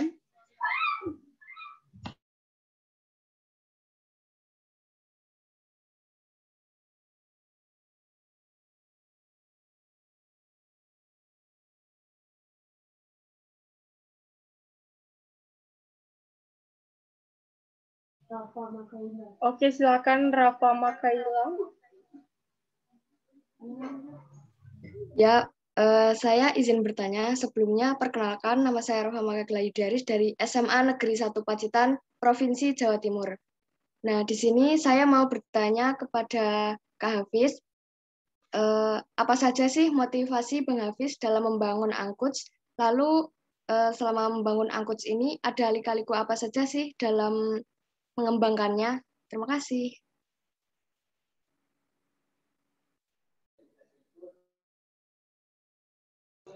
Langsung enggak, Dek? Sudah.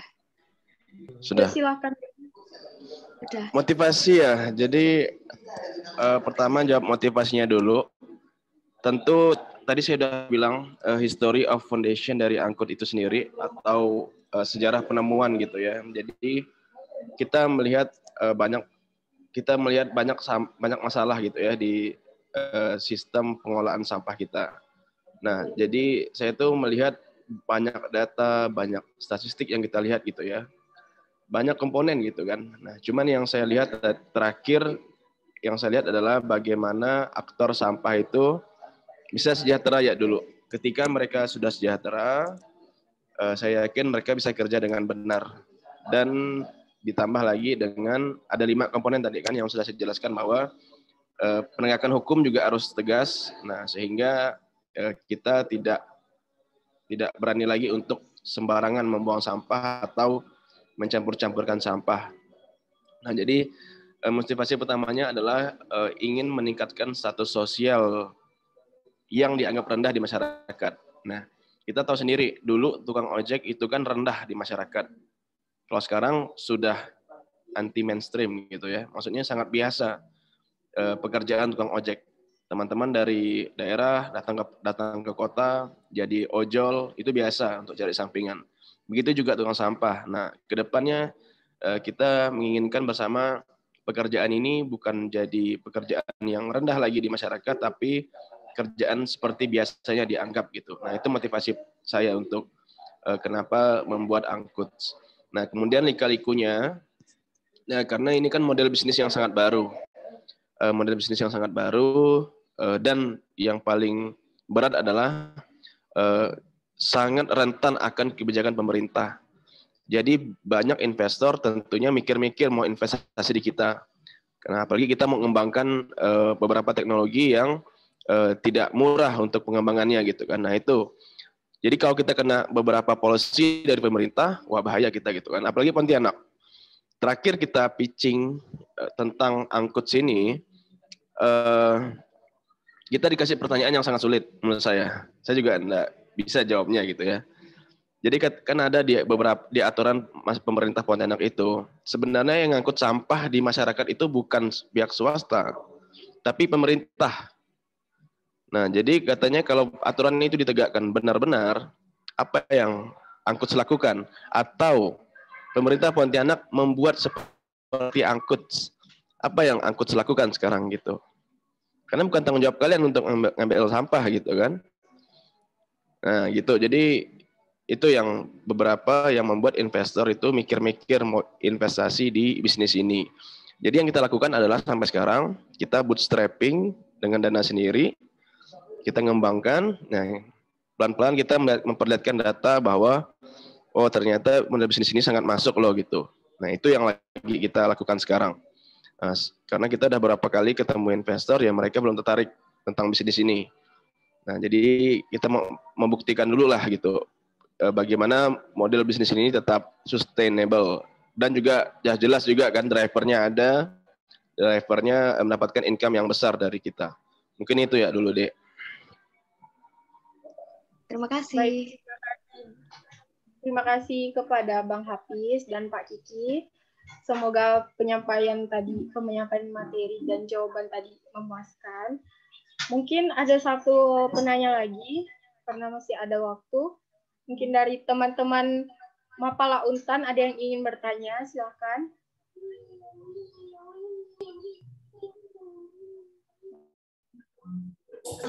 Aku.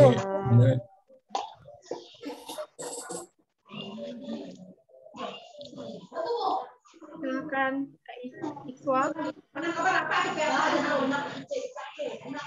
Baik, terima kasih um, Ferin selaku moderator yang telah memberikan waktu. Saya ingin bertanya kepada narasumber yang kedua, uh, bagaimana caranya untuk berpartisipasi dalam uh, dalam lembaga angkut karena di sini rasanya tertarik sekali gitu ingin bergabung. Terima kasih.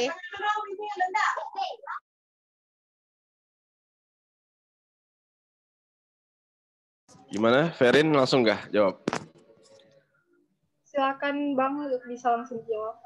Kak. Uh, kalau untuk sekarang kita sangat mencari uh, tim teknis ya, maksudnya kayak programmer uh, yang bisa buat aplikasi gitu. Tapi kalau misalnya teman-teman di luar itu, kita uh, apa? Kalau hanya sekedar uh, bergabung volunteer, ya tentu kita sangat in welcome gitu ya. Tapi kalau karena kita ini bisnis, tentu harus dihitung gitu ya per bulannya berapa gitu. Tapi kalau hanya untuk sekedar gabung, uh, kita buat kita untuk apa mengcover teman-teman yang sangat ingin uh, bergabung itu kita juga ada buat namanya angkut junior. Nah jadi angkut junior. Jadi mereka bergabung di situ. Kalau ada event ya kita sama-sama ngerjainnya. Tapi di luar core basisnya kita, karena kita tidak ada apa cost untuk uh, apa untuk untuk mereka gitu. Tapi kalau misalnya adik Irena ya tadi ya, kalau mau lebih tahu tentang angkut, uh, boleh nanti kita bicarakan. Baik, terima kasih Pak atas jawabannya. Terima kasih Bang atas jawabannya.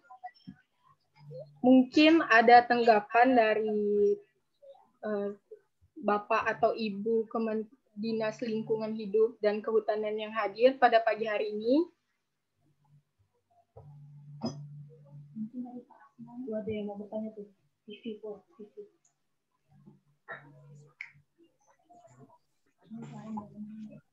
Mohon izin Bu Ferin, Mbak Ferin.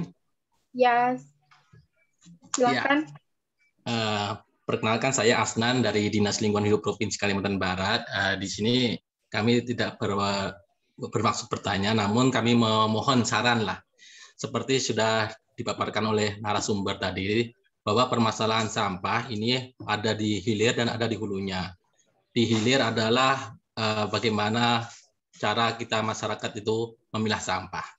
Nah, di sini kami mohon saran, uh, terutama terhadap Mas Afis, gimana peran serta angkut untuk uh, memilah sampah masyarakat para pelanggannya itu memilah sampah. Sebagaimana kita ketahui bahwa di negara-negara maju memang sih kalau masalah memilah sampah mereka sudah sudah sangat lebih unggul uh, seperti kayak di Jepang. Kalau di Jepang itu kan kalau masyarakatnya uh, tidak memilah sampah, maka punishment-nya adalah sampah itu tidak akan diangkut. Jadi kalau di negara-negara maju kan apa uh, pengangkutan sampah itu kan berdasarkan kalender. Misalnya hari Senin itu pakai sampah organik yang diangkut. Terus sampah plastik itu hari Selasa, hari Rabu sampah kaca. Nah, maksud kami kami minta saran bagaimana cara mengedukasi masyarakat itu untuk memilah sampah. Karena kalau selama ini masyarakat kita tidak akan memilah sampah, ya permasalahan sampah tetap tidak akan selesai. Terima kasih.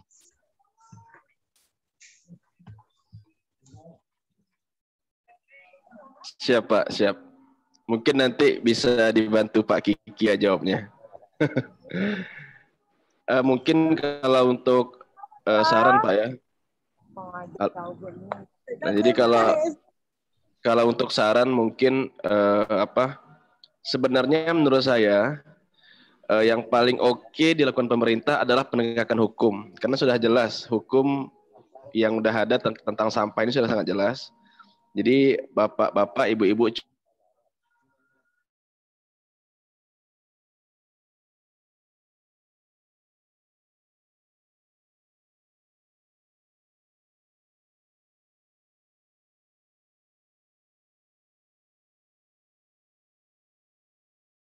Maaf Bang, audionya mute.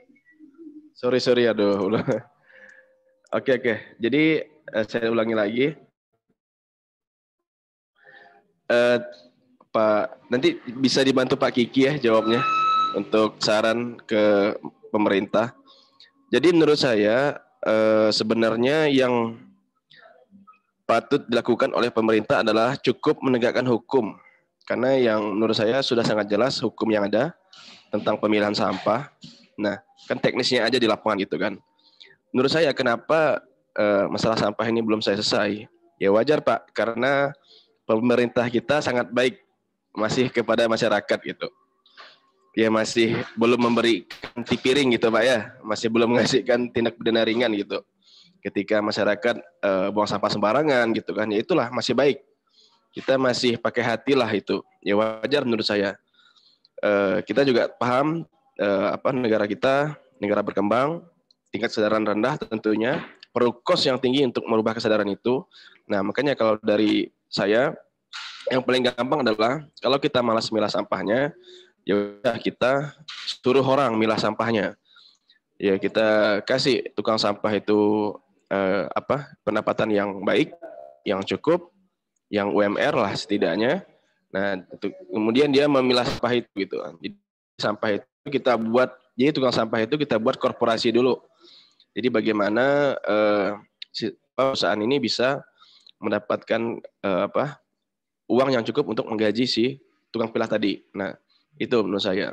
Tapi kalau misalnya kita mengharapkan eh, sampah itu dipilah oleh masyarakat, ya tentu betul kata Pak Kiki tadi bahwa mungkin kita bukan sekarang merasakannya beberapa puluh tahun ke depan gitu kan tapi kalau untuk jangka pendeknya yang menurut saya yang paling gampang ya kita sediakan memang jasa yang pemilahnya gitu jadi bagaimana tukang sampah itu juga memilahnya di tempat yang baik sehingga sampahnya tidak masuk ke TPA nah itu e, kemudian juga e, penggiat-penggiat sampah saya yakin juga sangat banyak ya. Sebenarnya itu juga yang harus ditekankan Pak. Jadi eh, semacam kita memberikan sebenarnya sudah sangat jelas sih di aturan itu saya lihat. Misalnya contoh ada beberapa eh, apa penggiat sampah yang dapat melakukan pengurangan terhadap TPA. Nah sebenarnya sampah yang dari mereka eh, kurangi itu sebenarnya bisa diklaim atau saya lupa istilahnya apa namanya gitu. Nah misalnya contoh teman-teman di perus apa yang usaha magot gitu ya di luar saya pernah ketemu gitu ya. Jadi mereka tuh ada dua model bisnis selain mereka jual beli magotnya, tapi juga mereka mendapatkan saya lupa apa istilahnya itu dari pemerintah. Jadi berapa uh, kubik yang mereka dapat kurangi sampah yang masuk ke TPA, sampah organik terutama, mereka tuh dapat semacam klaim gitu. Mereka dapat juga income dari pemerintah. Nah, karena mereka sudah membantu dalam melakukan pemilahan, kayak gitu. Kemudian juga yang saya lihat di beberapa pemerintah, terutama di Pontianak, Nah, kita mengharapkan eh, misalnya dana dana penanganan sampah itu berapa miliar gitu ya. Kemudian kita mengharapkan tingkat kesadaran untuk memilah sampah tuh persentasenya sekian gitu. Nah, kemudian yang saya lihat dana yang disiapkan itu sangat kecil. Uh, yang saya tahu gitu ya. Misalnya contoh hanya sekedar untuk uh, dana uh, pemilihan duta lingkungan hidup gitu kan atau lain-lainnya gitu. Ya kan sangat kurang gitu kan. Nah, karena apa? Kos edukasi itu sangat tinggi menurut saya. Makanya kalau kita salah arah dalam melakukan edukasi, sia-sia gitu. Nah, ini saya coba analogikan dengan bagaimana eh, sebut saja merek gitu ya, Gojek misalnya. Atau Shopee lah. Adik-adik kan suka belanja di Shopee nih. Nah, kenapa mereka kan melakukan gratis ongkir? Beda sama marketplace lain gitu kan, masih ada ongkirnya. Nah, itu kan salah satu uh, market akuisisi yang dilakukan oleh Shopee. Mereka mengeluarkan uang, membakar duit untuk apa? Mengakuisisi market atau merubah perilaku atau mengedukasi para pelanggannya bahwa ngasih tahu bahwa Shopee ini punya tagline jelas ongkir gitu. Nah itu kan perlu cost. Nah ter termasuk kita juga. Makanya tidak hanya pemerintah yang punya wewenang untuk mengeluarkan cost itu menurut saya, tapi eh, BUMD, kita juga punya bank di sini gitu kan, yang punya uang CSR dan lainnya. Nah, bagaimana mereka bisa memberikan dana untuk lingkungan hidup? Nah, mungkin itu dulu, Pak. Mungkin Pak Kiki bisa bantu jawab. Baik, terima terima kasih uh, Bang Hafiz. Uh, saya uh, berpendapat yang perlu kita lakukan ada lima hal, tapi yang perlu kita pahami dulu adalah bahwa uh, hasilnya tidak bisa serta-merta kita lihat uh, relatif sulit mengingat dan menimbang kondisi Indonesia. Tapi kita akan bisa melihatnya kalau kita konsisten menjalankan lima hal ini. Yang pertama uh, penegakan hukum, aturan. Kita ambil contoh di Pontianak ada aturan yang cukup uh, keras diberlakukan yaitu jam membuang sampah dan setelah beberapa waktu, setelah beberapa pejabat di di piring juga, akhirnya sekarang ini menjadi relatif uh, baik uh, jam buang sampahnya. Kita ya kalaupun ada pelanggaran hanya beberapa menit sebelum dan sesudah jam pemberlakuan. Tapi hukum ini tidak bisa efektif kalau tidak ada alternatif. Jadi masyarakat uh, tetap akan memiliki resistensi dan mencari celah selama tidak ada alternatif. Maksudnya begini, pelarangan harus disertai dengan solusi. Kita tidak boleh buang sampah jam uh, 6 pagi sampai 6 sore. Apa solusinya? Misalnya seperti itu. Artinya eh, masyarakat tidak merasa terkungkung oleh hukum, tapi merasa bahwa hukum itu memang sebuah keniscayaan, sesuatu yang harus kita taati, dan ada solusi alternatif. Misalnya tadi kita nggak mau, kita nggak sempat nih kalau buang malam. Terus gimana? Ya itu tadi, apakah ada pihak lain yang membantu mengangkut, mengumpulkannya, nanti sore baru dibuang ketika jam membuang sampah sudah eh, dibuka. Nah ini artinya yang ketiga yang kita perlukan, kerjasama. Pemerintah memang secara undang-undang harus menjalankan tugas mengelola sampah. Tapi apakah tugas itu dijalankan sendiri? Menurut saya, tafsir undang-undangnya masih bisa kita lihat dengan lebih fleksibel tanpa melanggar peraturan, peraturan pokoknya dengan mengedepankan kerjasama. Dengan dengan demikian semua pihak akan akan diuntungkan. Dan ini kemudian menjadi bagian dari edukasi. Jadi ketika kita mengedukasi, yang keempat edukasi, kita edukasi hukumnya, kita sampaikan solusi alternatifnya, kita tekankan kerjasamanya. Baru setelah empat hal tadi, yang paling penting dan paling mendasar adalah menumbuhkan tanggung jawab. Tanggung jawab kepada pengguna, tapi terlebih lagi kepada produsen. Nah, ini kan yang sulit ini kepada produsen sampah. Eh, mereka menganggap tanggung jawabnya sudah lepas dengan misalnya menetapkan harga tertentu yang di dalamnya ada komponen biaya untuk pemulihan atau recovery. Atau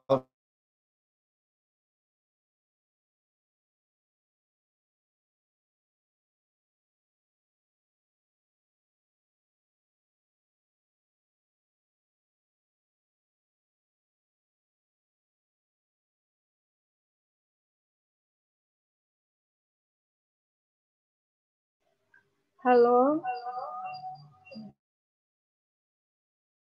Mungkin sinyal Pak Kiki sedang gangguan.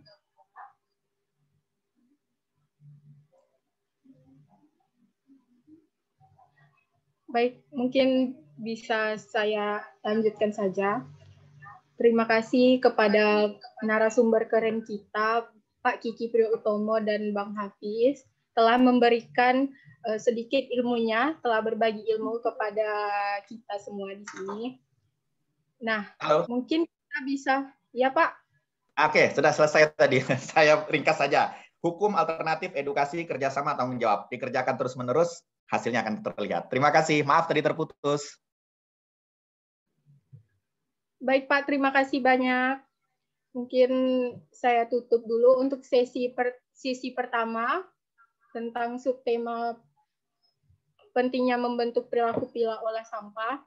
Nah, untuk narasumber kita yang ketiga yaitu Bang Rio Afiat yang akan membahas tentang kampanye penggunaan tumbler Zero Waste Lifestyle. Assalamualaikum, selamat pagi Bang Rio. Waalaikumsalam warahmatullahi wabarakatuh. So, uh, sebelum itu saya akan membacakan CV dari Bang Rio. Bang Rio merupakan pegiat konservasi dan lingkungan, juga merupakan anggota luar biasa Mapala Untan. Pengalaman ke, uh, beliau lahir di Sungai Nyilang tahun 18 November tahun 1951. Pengalaman beliau pernah menjadi pendamping perhutanan sosial BPSKL Regional Kalimantan untuk Desa Nangalau periode Juni sampai Desember 2018 dan Mei Desember 2019 dan program spesialis to community development and local regulation in village forest conservation program Inangalau Kaposulu 2009 sampai 2021 dan masih banyak lagi. Nah, untuk pemaparan materi dari Bang Rio, silakan waktunya selama satu jam, Bang. Baik, terima kasih. Selamat pagi. Assalamualaikum warahmatullahi wabarakatuh. Waalaikumsalam. Ya, mudah-mudahan suara saya jelas ya.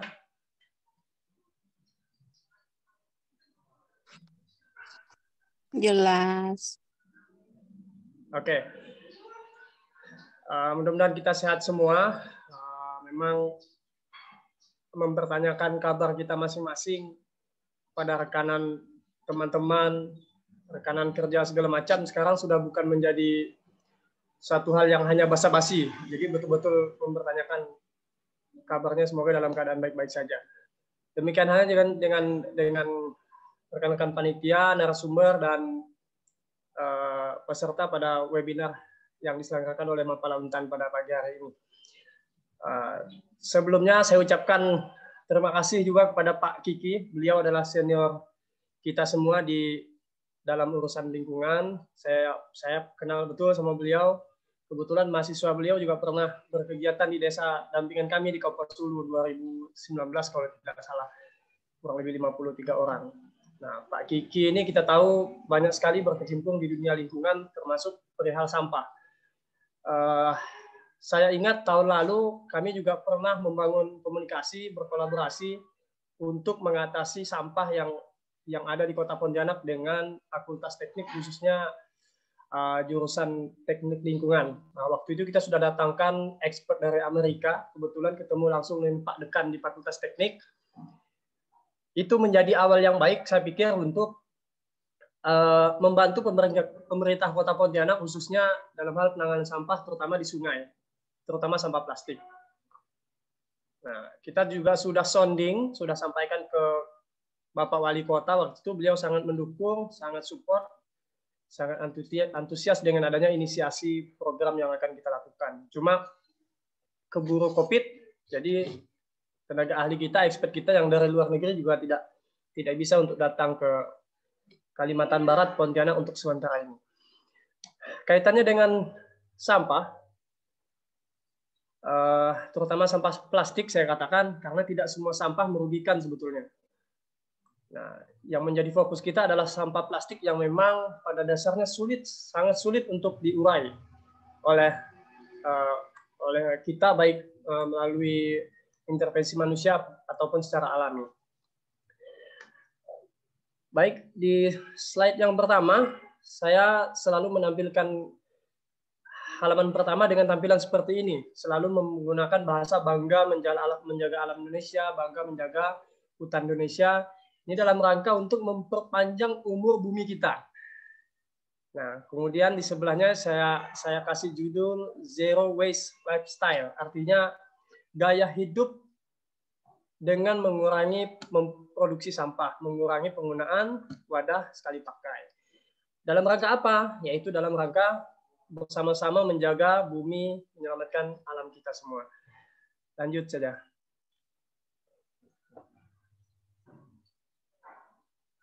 Oke, tadi sudah sudah juga dikenalkan. Ah, saya kebetulan eh, bekerja di lembaga non profit, lembaga swasta, yayasan, yaitu Pelestari Ragam Hayati dan Cipta Fondasi yang yang fokus pada pendampingan masyarakat dan kegiatan konservasi di Kabupaten Kapuasulu. Lanjut.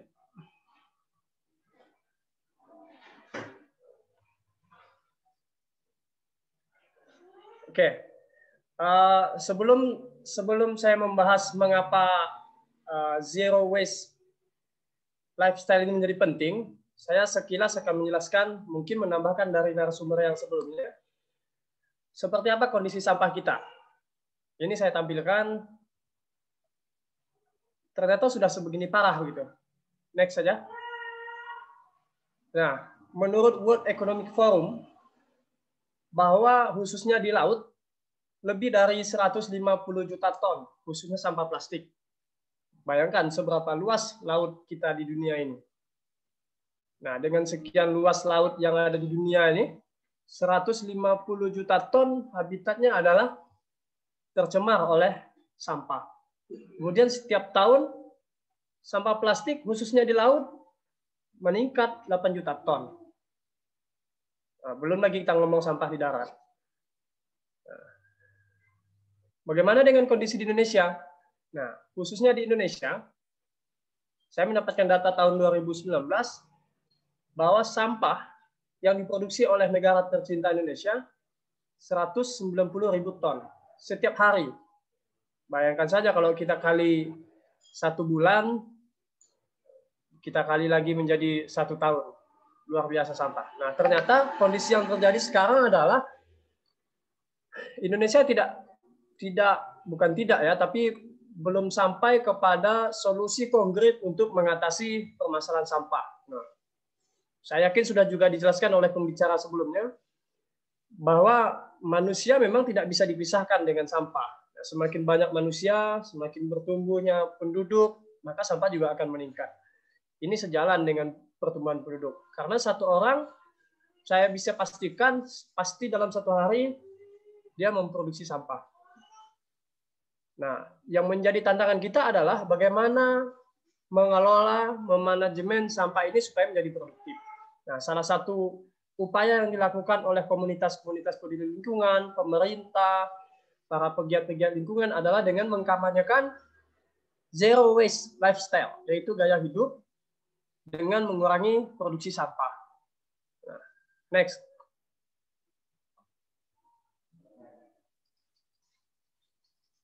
Oke, mengapa zero waste menjadi penting? Nah, kita lihat apa yang disebabkan oleh sampah plastik, terutama untuk satwa-satwa yang ada di dunia.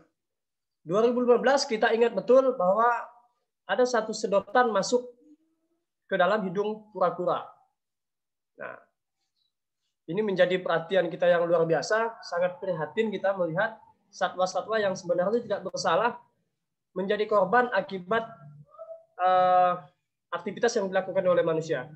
Kemudian 2018 juga terjadi paus menelan 80 buah kantong, 80 kantong plastik yang kemudian akhirnya dia tidak bisa diselamatkan, mati. Kemudian 2009 juga kita ingat tutup botol, bayangkan saya yakin tutup botol ini pasti akibat ulah yang disebabkan oleh manusia masuk ke dalam dimakan oleh satu satu ekor burung gitu. Kemudian akhirnya dia juga mati. Next. Nah, kemudian yang terbaru di Wakatobi pada tahun 2018, kurang lebih tiga tahun yang lalu, si ikan paus ini mati disebabkan oleh dengan memakan sampah plastik. Mungkin salah satunya adalah botol atau tumbler yang menjadi bahasa kekinian. Ini yang menjadi alasan mengapa kita penting untuk mengubah gaya hidup menjadi manusia-manusia yang sangat minim mengurangi manusia yang minim memproduksi sampah. Nah, sekali lagi saya katakan salah satu hal yang paling baik yaitu untuk mengubah gaya hidup menjadi zero waste lifestyle itu dia tadi. Lanjut.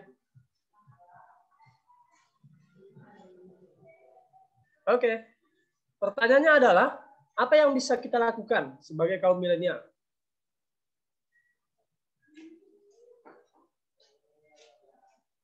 Oke, apa peran yang bisa kita ambil untuk menyelamatkan bumi ini? Lanjut. Nah, saya berkali-kali menyinggung zero waste lifestyle. Apa sih maksudnya gitu? Nah, kita harus paham dulu. Karena ini bahasa asing gitu. Baik. Secara sederhana, zero waste lifestyle itu bisa kita maknai sebagai uh, gaya hidup dengan menerapkan upaya pengurangan memproduksi sampah. Yang tentu semakin banyak kita memproduksi sampah akan memberikan dampak negatif bagi lingkungan sekitar kita. Pengertian yang lain juga merupakan gerakan untuk menghasilkan sampah dengan cara mengurangi gerakan untuk tidak menghasilkan sampah dengan cara mengurangi kebutuhan. Kemudian menggunakan kembali dan mendaur ulang. Saya katakan di awal bahwa manusia bisa dipastikan tidak bisa terlepas dari yang namanya produksi sampah. Sekali lagi, manusia adalah produsen utama yang memproduksi sampah. Nah, kita katakan sampah rumah tangga, sampah produksi itu disebabkan oleh uh, proses-proses pekerjaan-pekerjaan yang dilakukan oleh manusia. Next. Ya. Mengapa penting? Nah, artinya mengapa penting untuk mengubah perilaku kita dengan tetap memproduksi sampah tapi dikurangi. Ya kan? Kita sulit mengatakan tidak boleh kita tidak boleh uh, memproduksi sampah. Saya katakan itu sulit. Nah, bahkan di setiap rumah juga bisa dipastikan saat setiap hari pasti memproduksi sampah. Nah, mengapa penting untuk mengubah gaya hidup menjadi zero waste lifestyle itu tadi? Tujuan utamanya adalah mengurangi. Nah, jadi tidak memutus gitu ya, tidak memutus produksi sampah atau tidak menghentikan adanya sampah. Itu sulit. Tapi dengan cara gaya hidup seperti ini kita bisa mengurangi dan mengeliminasi sampah. Tentunya manfaat utama yang paling dirasakan adalah produksi sampah menjadi berkurang. Nah, saya katakan di kota Pontianak ini rata-rata per hari 390 sampai 400 ton sampah yang diproduksi di Kota Pontianak. Itu terdiri dari sampah produksi, sampah sampah sampah pabrik, sampah mas eh, sampah rumah tangga. Belum lagi kita ngomong sampah-sampah yang lain kan? Sampah masyarakat, sampah kampus misalnya kalau ada. Lanjut.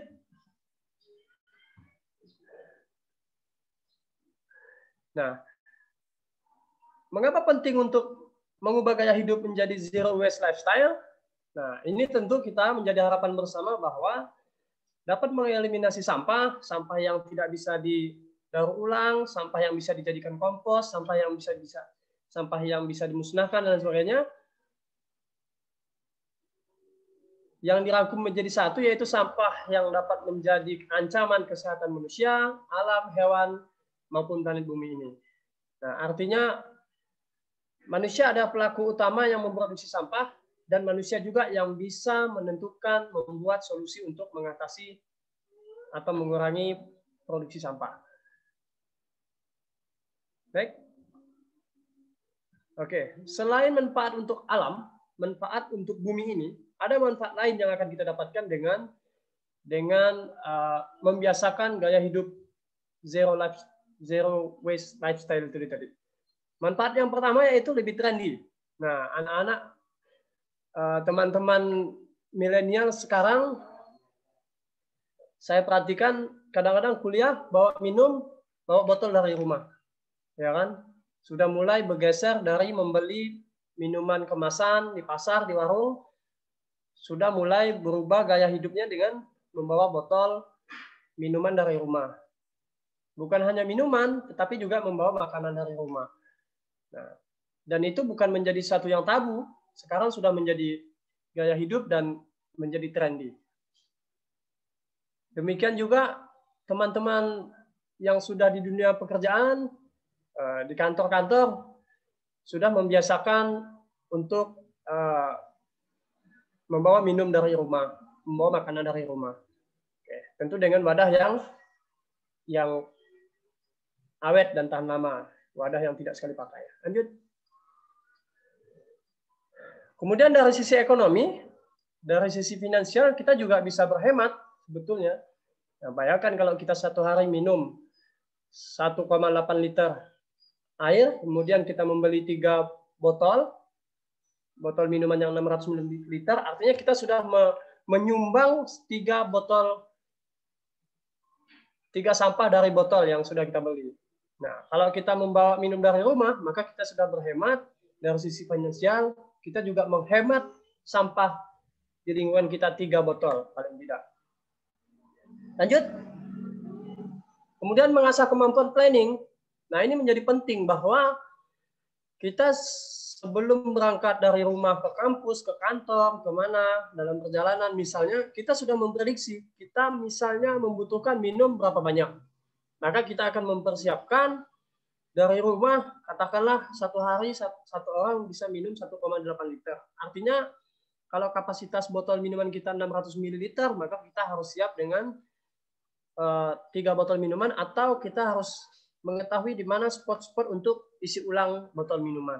Nah, ini menjadi penting untuk mengasah kemampuan perencanaan.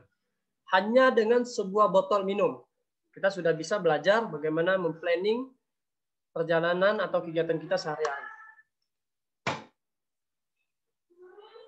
Next.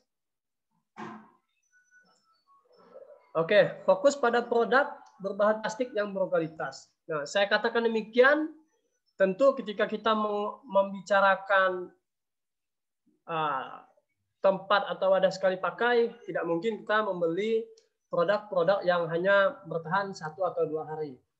Ya, katakanlah salah satu jenis produk uh, dia memberikan garansi seumur hidup kalau pecah diganti misalnya itu bagian dari upaya-upaya mereka untuk mengurangi sampah plastik. Lanjut. Tidak ada sisa makanan. Nah, kadang-kadang menjadi kebiasaan kita, saya tidak tahu daerah lain, kalau di kota Pontianak saya perhatikan di warung-warung kopi, kadang-kadang membeli minum satu botol, tapi tidak habis. Nah, itu sudah menjadi mubazir kan? Pertama dia membeli minuman, kemudian tidak habis, mubazir, kemudian dia juga menyumbang satu sampah untuk alam kita. Nah, tetapi ketika kita membawa dari rumah, minuman kah, makanan, paling tidak tempatnya tidak menjadi sampah. Nah, walaupun ada makanan sisa, itu bisa menjadi pupuk dan kita bawa pulang lagi ke rumah. Ya. Jadi dari sisi dari dari perspektif agama juga sebetulnya ini sangat baik gitu ya. Tidak tidak memproduksi makanan sisa segala macam. Kemudian gaya hidup sehat mengurangi risiko kontaminasi penyakit dari kemasan. Nah, kita tahu saat ini serba sulit. Kita sedang dihadapkan dengan masa-masa yang serba terbatas. Kadang-kadang untuk belanja ke warung kita juga harus hati-hati Nah, dengan kita membawa makanan dari rumah, minuman dari rumah, menggunakan tumbler dan lain sebagainya, setidaknya kita sudah mengurangi resiko kontaminasi dari kemasan-kemasan yang dipajang di warung-warung di toko-toko. Nah, artinya kita yakin betul bahwa wadah yang kita gunakan karena dari rumah kita yakin dicuci, diproses, dibersihkan dengan baik, maka insya Allah ini akan menjadi menjadi penghalang untuk kita ter, terpapar, terkontaminasi dari segala jenis penyakit. Terlebih lagi dari penyakit yang saat ini sedang mewabah. Kemudian yang paling penting juga yaitu mengurangi resiko pemanasan global dan ancaman bencana alam. Nah, kita tahu di kota Pontianak ini dalam beberapa hari terakhir sering terjadi hujan dan saya ingat tiga hari yang lalu kalau tidak salah hampir di setiap jalan di kota Pontianak ini banjir. Nah, dinas kebersihan saya perhatikan bawa peralatan lengkap untuk mengumpulkan sampah-sampah yang ada di parit-parit, di sungai-sungai, di got-got yang menyebabkan tersumbatnya saluran air. Nah, itu menjadi contoh kecil saja sebetulnya bahwa sampah ini juga menjadi menjadi sumber utama gitu ya, sumber utama penyebab masalah banjir misalnya atau tanah longsor dan lain sebagainya. dengan kita mengubah gaya hidup menjadi hemat sampah, maka kita tidak tidak menyumbang terjadinya pemanasan tidak menjadi salah satu penyebab ancaman bencana alam. Next. Oke, yang terakhir saya pikir manfaat lain dengan mengubah gaya hidup bebas sampah yaitu menjadi kreatif. Nah, hanya dengan satu buah botol dan satu wadah makanan saja yang kita bawa dari rumah, gitu kan? Itu akan mengasah tingkat kreativitas kita. Misalnya bagaimana sampah ini menjadi pupuk kompos katakan. Bagaimana sampah ini menjadi sesuatu yang bernilai ekonomis. Misalnya kalau memang sudah terlanjur memproduksi botol gitu ya, bagaimana botol ini tidak menjadi sampah? bisa menjadi salah satu apa namanya eh, tempat untuk mengembangkan budidaya sayur misalnya dengan cara hidroponik ya kan dan lain sebagainya nah ini akan menjadikan tingkat kreativitas kita meningkat next oke okay. apa dampak yang dihasilkan tentu ini dampak dampak positif ya dampak positif ketika kita sudah komitmen untuk mengubah gaya hidup kita menjadi zero waste lifestyle. Yang pertama, yaitu tidak ada lagi ancaman bagi satwa yang disebabkan oleh gas metana, tentu yang disebabkan oleh sampah-sampah. Misalnya kita lihat tadi di slide awal saya menjelaskan bahwa banyak satwa-satwa yang menjadi korban akibat perilaku manusia yang tidak bertanggung jawab. Dengan membuang sampah ke sungai, kemudian hanyut ke laut, dan lain sebagainya. Nah, dengan kita menerapkan gaya hidup bebas sampah, maka kita bisa pastikan satwa-satwa yang sebetulnya juga akan menjadi bahan konsumsi kita akan aman dari zat-zat yang mengandung racun yang disebabkan oleh sampah itu. Kemudian, tidak ada lagi ancaman bencana banjir, longsor, dan lain sebagainya. Nah, sebagaimana yang saya jelaskan di awal, bahwa sampah juga menjadi bagian penyebab utama terjadinya banjir longsor, kemudian bencana-bencana alam yang lain. Kemudian dengan menerapkan zero waste lifestyle, ya kan, dengan menggunakan botol dan tempat makan sendiri bawa dari rumah, kita juga mendukung dalam upaya mewujudkan kota, negara, dan alam kita bebas dari sampah. Tidak usah muluk-muluk, kita ngomong bicara, kita bicara kota Pontianak saja. Bayangkan kalau 15.000 warga Pontianak menerapkan gaya hidup bebas sampah, maka saya yakin sampah-sampah di kota Pontianak akan aman, akan terkelola dengan baik. Lanjut. Ya, yang paling penting untuk alam ini juga bahwa dengan menerapkan gaya hidup bebas sampah kita membantu memperlambat pemanasan global atau membantu memperlambat perubahan iklim yang disebabkan oleh banyak faktor sebetulnya penebangan, kemudian illegal logging, deforestasi, degradasi, termasuk sampah juga berpengaruh terhadap perubahan iklim. Bagaimana memulai? Nah, ini menjadi pertanyaan penting ketika kita sudah memahami bahwa alam butuh kita, alam butuh gaya hidup yang lebih lebih humanis gitu ya. Alam membutuhkan manusia-manusia yang menjadi pemerhati lingkungan, menjadi pemerhati alam. Bagaimana cara memulai? Yang pertama adalah pertama yang harus dan ditekankan bahwa kita harus sadar bahwa kita hanya punya satu bumi. Sekali lagi, kita hanya punya satu bumi untuk kita hidup maka kita harus bertanggung jawab untuk menjaga keberlangsungan hidup di muka bumi ini. Nah, kita tahu bahwa bumi ini sudah sangat tua gitu ya. Bumi ini sudah sudah bungkuk dan lain sebagainya. Maka yang paling bertanggung jawab untuk mempertahankan keberlangsungan hidup muka bumi adalah manusia. Nah, tidak mungkin kita memberikan tanggung jawab kita kepada makhluk yang lain. Nah, sementara manusialah yang ditunjuk untuk menjadi pemimpin di muka bumi ini.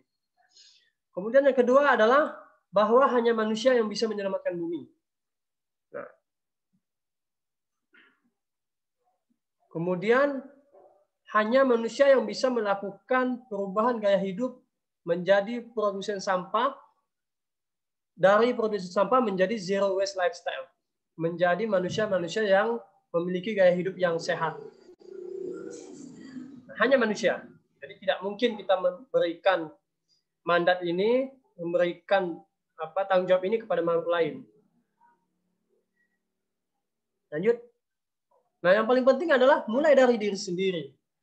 Dengan mengurangi menggunakan wadah sekali pakai, dengan menggunakan selalu bekal minum dan makanan dari rumah. Next. Nah, untuk kaum kaum milenial, jika bingung misalnya mau memulai dari mana, maka di kota Pontianak saja sudah banyak komunitas-komunitas peduli lingkungan. Komunitas yang peduli dengan keadaan sampah. Nah, kita bisa bergabung dengan komunitas-komunitas tersebut untuk melakukan aksi misalnya, untuk melakukan kampanye, untuk melakukan penyadar tahuan dan lain sebagainya. Kemudian yang terakhir yaitu zero waste home. Nah ini ini salah satu uh, pengamat sampah seorang profesor mengatakan paling tidak ada lima rumus untuk mengendalikan sampah. Nah, yang pertama reverse, mengurangi. Ya kan? Kita tidak bisa menghentikan produksi sampah, tapi hanya bisa mengurangi. Yang satu hari kita bisa produksi sampah 5 kilo, nah sekarang kita kurangi menjadi satu kilo atau dua kilo. Kemudian menggunakan kembali. Nah, sampah-sampah yang sudah kita pilih ini bisa kita gunakan untuk apa misalnya? Menjadi pupuk kompos misalnya, menjadi wadah untuk budidaya sayur dan lain sebagainya melalui hidroponik. Kemudian daur ulang. Nah, banyak sekali komunitas-komunitas yang berkembang di Kota Pontianak ini mendaur ulang sampah menjadi produk yang bernilai ekonomis. Kalau tidak salah saya, salah satunya ada di uh, Mendawai, nah, Kampung Mendawai dan di di nah, ada komunitas komunitas komunitas masyarakat yang dia mengembangkan usaha-usaha berbahan sampah yang bisa didaur ulang tentunya. Kemudian bisa juga dengan menggunakan eh, zat-zat lain, tambahan-tambahan lain untuk menjadikan pupuk atau membusukkan gitu ya, membusukkan sampah yang diproduksi menjadi pupuk, kompos dan lain sebagainya. Next, saya pikir ini slide terakhir uh, bahwa kita bertanggung jawab untuk menyelamatkan bumi, sebab tidak ada bumi yang lain untuk kita hidup. Nah, itu pernyataan terakhir dari saya, teman-teman. Mudah-mudahan uh, kita bisa bersama-sama pelan-pelan untuk paling tidak mengurangi produksi sampah di setiap rumah-rumah kita, di setiap kegiatan, di setiap aktivitas kita.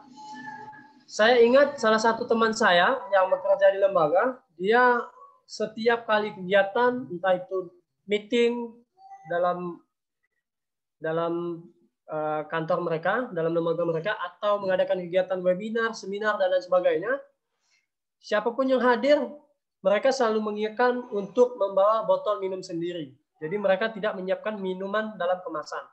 Kalaupun disuguhkan makanan dan minuman, selalu menggunakan bahan-bahan yang bahan tidak sekali pakai. Nah, saya juga diingatkan oleh teman saya bahwa budaya kita di Indonesia sebetulnya dalam menyuguhkan minuman adalah bukan dengan minuman kemasan sekali pakai, tetapi dengan menggunakan gelas kaca. Nah, itu menjadi budaya yang saya pikir saat ini sudah mulai berkurang. Kadang-kadang kalau ada tamu, misalnya lebaran, Natal, segala macam, kita berpikir lebih praktis, ah beli aja aqua gitu kan. Beli aqua, gelas, segala macam. Nah, dalam satu hari saja kadang-kadang kalau tamu kita datang ke rumah ramai gitu ya, kita sudah kita sudah menyumbang satu kotak, satu dus gelas gelas minuman dari rumah kita. Nah, kira-kira begitu, Perin. Terima kasih kesempatannya.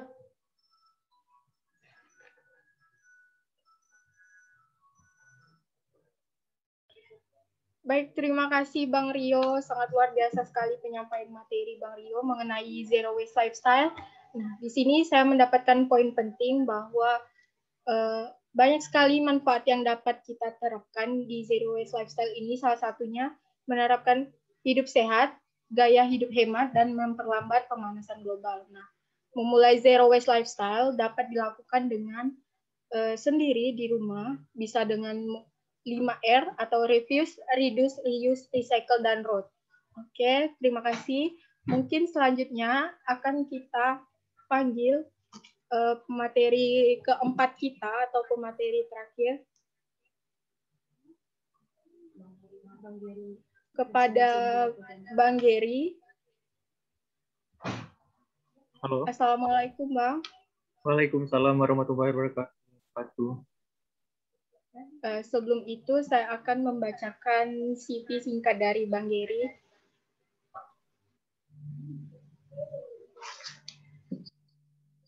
Nah, beliau merupakan uh, Presiden Si Engel Pontianak. Beliau lahir di Pontianak 23 Oktober 1999. Beliau merupakan uh, beliau mengenyam pendidikan di Fakultas Teknik jurusan Teknik Sipil. Nah, pengalaman komunitas, beliau di Si Engel Pontianak yaitu komunitas peduli sosial lingkungan, terutama pencegahan kerusakan lingkungan air. Di Keep Earth Borneo, komunitas yang bergerak di bidang lingkungan, pariwisata, kebudayaan, pendidikan, dan yang berkaitan dengan pengembangan peran pemuda. Dan yang ketiga, pengalaman komunitas beliau adalah Yale Kalbar, atau komunitas sosial yang merupakan agen pahlawan pelosok negeri. Nah, selanjutnya mungkin silakan kepada Bang Geri untuk menyampaikan materi kurang lebih selama 30 menit. Silakan, Bang. Oke, terima kasih kepada saudara Perin. Ya, uh, sebelumnya apa kabar buat semuanya? Saya rasa Mas kita masih berada di semangat kemerdekaan karena baru saja kita merdeka yang ke-76 tahun bangsa kita. Saya harap ke depannya kita sama-sama bisa menyuarakan sustainable sustainable Sustainability Development Goals ini atau perkembangan berkelanjutan yang mana memang diusung dari seluruh negara termasuk Indonesia. Kita bersama-sama biar bisa mewujudkan ini pada tahun 2030 nantinya. Oke, baiklah sebelum itu Assalamualaikum warahmatullahi wabarakatuh. Di sini saya izin share screen untuk materi saya ya, Mbak Perin.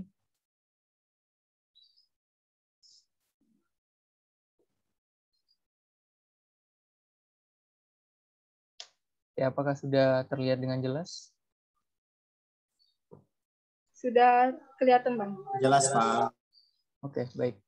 Uh, baiklah, pertama-tama saya ucapkan uh, terima kasih atas kesempatan dan waktunya. Di sini saya Geri Marpahiko uh, akan memberikan materi dan juga saya menyempatkan untuk memberikan salam hormat kepada Bapak Kiki Priyotomo. Beliau adalah dosen salah satu dosen terbaik di fakultas kami, Fakultas Teknik Universitas Tanjung Pura, dan juga uh, pemateri sebelumnya, halo Bang Hafiz dan Bang Rio.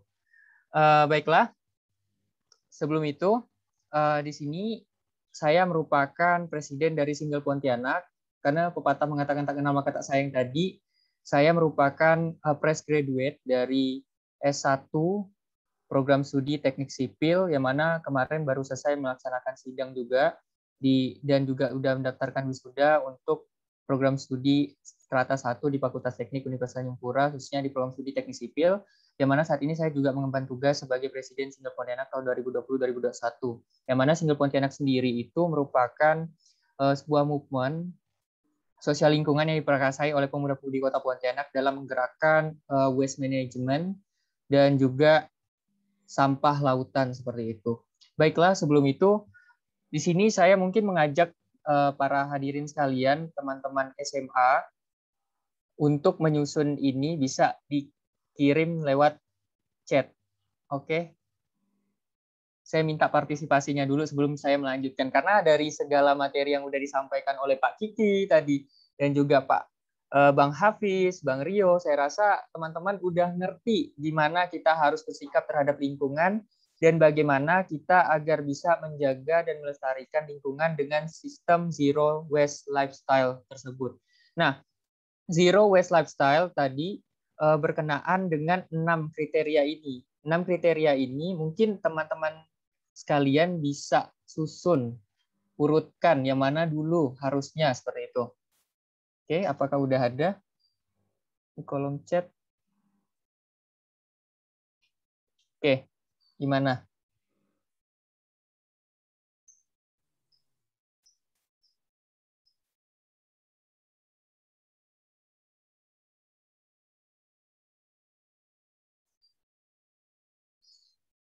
Boleh disusun uh, nomornya saja gitu. Ini adalah salah satu urutan gimana cara kita untuk mewujudkan zero waste lifestyle seperti tema kita pada hari ini. Uh, tema saya, tema penyampaian materi saya pada hari ini. Karena uh, saya rasa teman-teman tadi sudah mendengar nih berbagai macam informasi mengenai gimana caranya kita untuk menjaga lingkungan, termasuk zero waste lifestyle yang disampaikan oleh Bang Rio sebelumnya. Nah, untuk sebagai tes ringan, sebelum saya lebih dalam menjelaskan mengenai zero waste lifestyle dan juga bagaimana upaya aplikatif uh, realitanya, saya ingin mengajak teman-teman bisa menyusun terlebih dahulu sebagai bentuk pretest seperti itu. Oke, gimana? Gak apa-apa, gak boleh. Gak apa-apa, gak, gak apa-apa salah sore itu. Yang penting mencoba dulu. Mungkin teman-teman panitia mau mencoba silakan. Mbak Ferin udah senyum-senyum sendiri nih.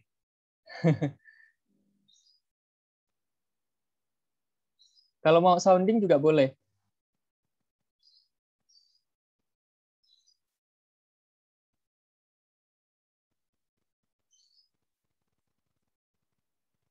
Ini Mas Indra nih nampaknya juga lagi berusaha buat nyusun. Gimana?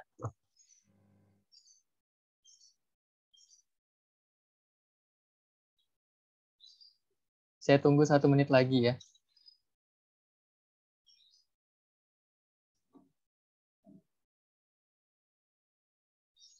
Oke, udah masuk nih. Dari Mas Mazaya ya. Mas atau Mbak nih? Mas ya. Mas Cewek, Mazaya. cewek, Oh cewek ya. Oh ma maaf. Mbak Mazaya. Eh, urutannya satu reuse, dua reduce, selanjutnya yang ketiga recycle, yang keempat energy recovery, yang kelima minimalization, dan yang terakhir yang keenam adalah disposal. Oke, apakah udah tepat? Atau mungkin ada yang mau lagi satu orang? Oke, daripada berlama-lama dan udah satu menit, saya kasih kuncinya ya, clue-nya. Jadi, yang harus dilakukan adalah pertama kita pencegahan. Selanjutnya minimalisasi. Nah, terbalik tadi itu oleh Mbak Mazaya, minimalisasinya agak terakhir. Harusnya minimalisasi, setelah itu baru reuse, setelah reuse digunakan kembali, baru recycle. Setelah re- recycle, baru masuk ke energy recovery. Dan yang terakhir, disposal atau pembuangan akhir. Karena kita sebagai generasi yang melanjutkan perkembangan dunia, dalam hal ini adalah menjaga lingkungan, kita harus mencegah dulu. Mencegah dalam arti kita harus menyediakan barang-barang yang bisa digunakan kembali. Barang-barang yang seperti apa? Reusable. Barang-barang reusable itu apa contohnya? Tumbler, seperti yang disampaikan oleh Bang Rio tadi. Tidak hanya tumbler, tapi masih banyak lagi. Nanti saya akan jelaskan satu persatu. Oke? Setuju? Oke, saya rasa setuju ya, teman-teman SMA. Baik, ini yang saya maksudkan dengan Sustainable Development Goals atau SDGs, yang mana kita bersama-sama, termasuk negara Indonesia, ingin mewujudkan Sustainable Development Goals ini terwujud pada tahun 2030. Nah, dari sekian banyak ini, kami dari Single Pontianak mengasuh eh, SDGs khususnya pada yang terlampir pada slide berikut. Ini juga berkaitan dengan dalam rangka waste management dan sampah lautan dan termasuk juga manajemen dari sampah yang ada di sekitar kita yang nantinya akan menjadi waste material yang lari ke lautan. Maka daripada itu untuk melakukan pencegahan perlu gandingan bersama tidak hanya dari Single Pontianak saya dan teman-teman tapi juga teman-teman SMA yang akan menjadi penerus kami seperti itu. Oke. Nah, sebelum saya lebih dalam menjelaskan mengenai bagaimana contoh aplikatif kita untuk menjaga lingkungan, saya akan memberikan cuplikan video yang mana menjadi hal yang terjadi saat ini di Indonesia dalam penanganan sampah. Mari kita saksikan.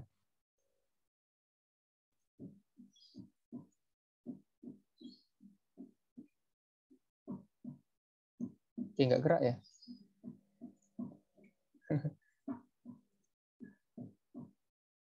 Oke, kalau gitu nggak apa-apa kita lanjut aja ke materi. Baik, uh, adapun tema yang akan saya sampaikan di sini adalah Bye Bye Single Use Plastic for Zero Waste. Yang mana Zero Waste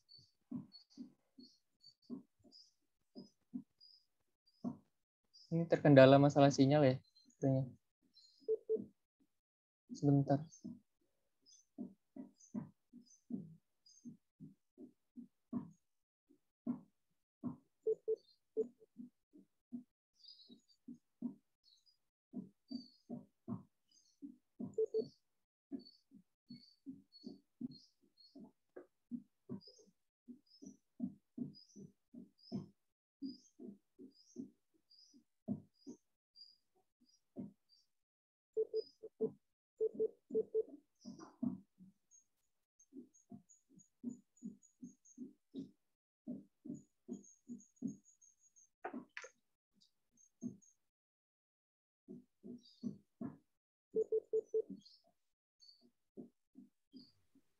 Teman-teman peserta webinar, mohon tunggu sebentar karena pemateri kita sedang dalam gangguan sinyalnya. Saat laptop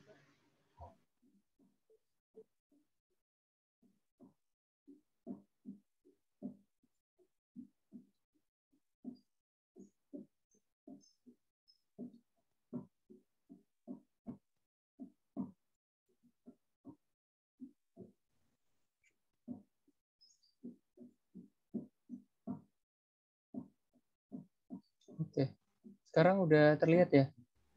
Sudah terlihat Bang, silakan Bang. Ya, maaf tadi uh, terkendala masalah laptop saya sepertinya bukan masalah sinyal. Tapi makasih Mbak Pirin sebagai satu moderator udah melanjutkan ke acara ini. Baiklah, uh, ini adalah video yang mana kita dapat saksikan fenomena sampah yang ada di Indonesia. mencapai 25 ton per hari. Setelah pantai itu tadi terbuh sampah kiriman, kini giliran pantai Sanur dan pantai lain yang dipenuhi sampah kurang dari lima menit, saya sudah menemukan sedotan plastik sedemikian banyak. Sampahnya datang dari laut, kemungkinan besar sampah itu datangnya dari Jakarta. Nah, kalau sampah itu datangnya dari Jakarta, kemungkinan besar sampah itu sampah kita. Oh man, it's freaking strong. That's plastic. Indonesia saat ini sebagai negara kedua terbesar dunia yang menyumbang sampah plastik ke lautan. Di Indonesia beredar lebih dari 93 juta sedotan plastik setiap harinya. Sering banget ketemu ya. sachet yang tahun 80-an. Nah itu mungkin Indomie yang kita makan waktu kita masih SD nyampe ke sini. Donald Trump. Oke, miris banget bukan? Kita sudah 76 tahun merdeka, tapi pengendalian sampah dan bagaimana cara kita untuk memilah dan mencegah masih kurang di Indonesia. Hal ini akan berdampak kepada satwa, terutama adalah satwa yang ada di laut. Satwa yang ada di laut itu akan kita makan. Yang mana satwa itu sudah tercemar yang namanya mikroplastik. Mikroplastik itu didapatkan dari sampah plastik yang mengaliri yang masuk ke daerah lautan. Ketika sampah plastik itu masuk ke daerah lautan dan terpecah-pecah menjadi mikro kecil, dinamakan mikroplastik masuk ke tubuh ikan dan masih banyak lagi, dan ikan tersebut kita makan, konsumsi, nah hal inilah yang akan merusak kita, yang dapat merusak tubuh kita, merusak kesehatan kita, bisa menyebabkan kanker, dan masih banyak lagi penyakit. Hal inilah yang uh, membuat keadaan gaya hidup di Indonesia itu sebenarnya masih kurang optimal dalam rangka untuk melakukan pencegahan terhadap limbah atau sampah, terutama sampah plastik yang mana seperti kita tahu sampah plastik itu baru bisa terurai sekitar 50 sampai 100 tahun. Dan puntung rokok itu juga selama 10 tahun, sedangkan soft drink, kaleng itu pada usia 80 sampai 100 tahun baru bisa terurai seperti itu atau terdegradasi. Dari data Jampek pada tahun 2015, Indonesia sempat menempati peringkat kedua penyumbang sampah. Sebanyak 10,1 persen sampah plastik di dunia yang tidak dikelola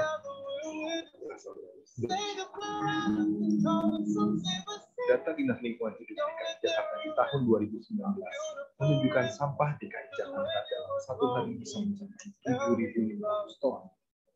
14 persen dari jumlah tersebut atau sekitar 1.000 ton merupakan sampah plastik yang didominasi oleh plastik sekali pakai. Polemik sampah plastik ini berujung pada kebijakan pemerintah DKI Jakarta yang melarang penggunaan kantong plastik mulai 1 Juli 2020.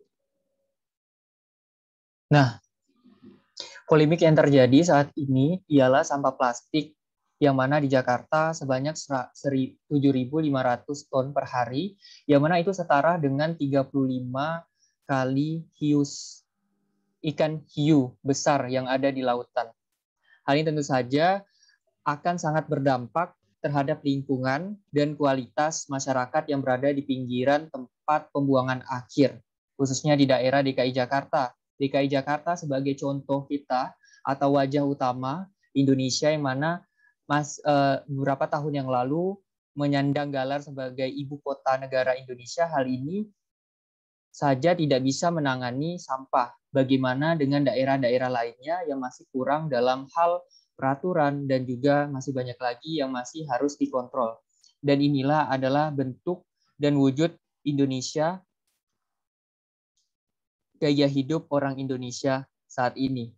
Dapat kita lihat bersama, berikut adalah gaya hidup konsumtif masyarakat Indonesia yang masih membeli barang tanpa membawa tote bag, tempat yang bisa digunakan kembali, reusable, plastic bag, dan masih banyak lagi. Nah, maka daripada itu, eh, di sini saya mengajak kita bersama-sama harusnya kita mengikuti contoh yang saat ini sudah terjadi di daerah negara Eropa Barat, yaitu beralih kepada penggunaan tote bag saat berbelanja dan juga menggunakan paper bag seperti yang dapat kita lihat pada slide berikut. Berikut adalah uh, fenomena yang terjadi berdasarkan informasi yang saya dapatkan bahwa Indonesia merupakan negara kedua terbesar penyumbang sampah setelah China. Sedangkan Indonesia merupakan negara maritim seperti itu. Negara maritim yang harusnya menjadi contoh buat seluruh dunia. Sedangkan kita sebagai negara maritim saja tidak bisa menjaga lingkungan karena efek dari pembuangan sampah yang banyak terjadi akhirnya dibuang ke lautan seperti itu. Jadi sampah yang tadinya menggunung di TPA tapi tidak hanya di TPA, masih banyak juga masyarakat yang membuang ke lautan. Maka daripada itu harusnya kita menjaga uh, lautan dan juga bagaimana cara kita untuk melakukan pencegahan agar tidak membuang sampah sembarangan dan melakukan pemilahan saat kita akan membuang sampah seperti itu. Nah, dengan uh, tema kita pada pagi hari ini adalah tentang pandemi dan lingkungan, yang mana saat kita berbelanja online selalu membeli barang yang mana barang itu di packaging dengan kemasan plastik. Hal ini uh, juga sesuai dengan artikel yang saya ambil ini pada 14 Januari sesuai dengan publishnya yaitu 14 Januari 2021 tercatat bahwa selama pandemi aktivitas berbelanja online meningkat hingga 30%. Hal ini tentu saja akan meningkatkan lagi dari limbah plastik dan Eh, sedangkan untuk penanganannya sendiri dari limbah plastik itu masih kurang untuk Indonesia. Nah, berikut adalah sampah Jakarta yang mana berdasarkan artikel ini setiap harinya itu ada sebanyak 6.270 ton. Sedangkan berdasarkan artikel sebelumnya ada sebanyak 7.500 ton per harinya sampah yang dihasilkan oleh DKI Jakarta. Itu hanya untuk khusus Provinsi DKI Jakarta. Bagaimana dengan provinsi lainnya? Sedangkan penanganan dan pemilahan sampah saja masih kurang. Seperti untuk sampah yang berjenis organik dan non-organik, kita masih membuang sampah itu dalam satu tempat pembuangan akhir Nah, saya mengajak kepada teman-teman SMA eh, nantinya bisa memilah untuk memilah dulu sebelum melakukan pembuangan. Inilah yang dimaksudkan dengan zero waste lifestyle, yaitu kita bukan bukan zero bukan berarti mengenolkan, tetapi kita melakukan peminimalisasiran pembuangan dan mengelola kembali sampah tersebut agar dapat digunakan untuk produk-produk dan dapat dianeka-ragamkan menjadi produk baru yang dapat dijual bernilai ekonomis. Dan ini berdasarkan penjelasan dari The Plastic Waste Management Rules 2016 bahwasannya menetapkan uh, dari badan lokal perkotaan harus setidaknya itu melarang kurang dari 50 mikron plastik tas dan tidak memungkinkan penggunaan daur ulang plastik untuk kemasan makanan, minuman, atau eatables yang dapat uh, dilakukan sebuah negara. Tapi bagaimana kondisi negara Indonesia yang terjadi saat ini? Tentu jelas kita masih kurang untuk penanganannya. Maka daripada itu kita harus mulai dari diri kita masing-masing. Nah, berikut adalah sampah plastik laut dan target perilaku yang mana sebenarnya pemerintah Indonesia sudah melakukan pergerakan dengan cara memberikan suatu aturan yang dapat kita lihat bersama dalam slide ini yaitu Indonesian's Plan of Action on Marine Plastic Debris. Plastic debris adalah sampah lautan, yaitu pada tahun 2017 sampai tahun 2025 dengan harapan yaitu 70% pengurangan sampah laut pada tahun 2025, sedangkan sekarang udah tahun 2021. Masih sisa empat tahun lagi nih teman-teman sekalian. Masih empat tahun lagi. Apakah kita bisa? Bisa. Jawabannya bisa. Jika kita bergerak bersama-sama dengan melakukan penggunaan barang reusable. kalau kita mau menggunakan produk plastik pun dia harus reusable. Jangan end to end. Kalau end to end atau single use plastik yang hanya dapat digunakan sekali, plastik yang dapat hanya digunakan sekali, itu tentu saja akan berdampak negatif terhadap lingkungan. Pertama, akan memperbanyak eh, pengolah pengolahan plastik dan juga selanjutnya akan me, menimbulkan bencana plastik yang nantinya dapat menyebabkan banjir seperti yang sering terjadi di Kota Pontianak, Kalimantan Barat.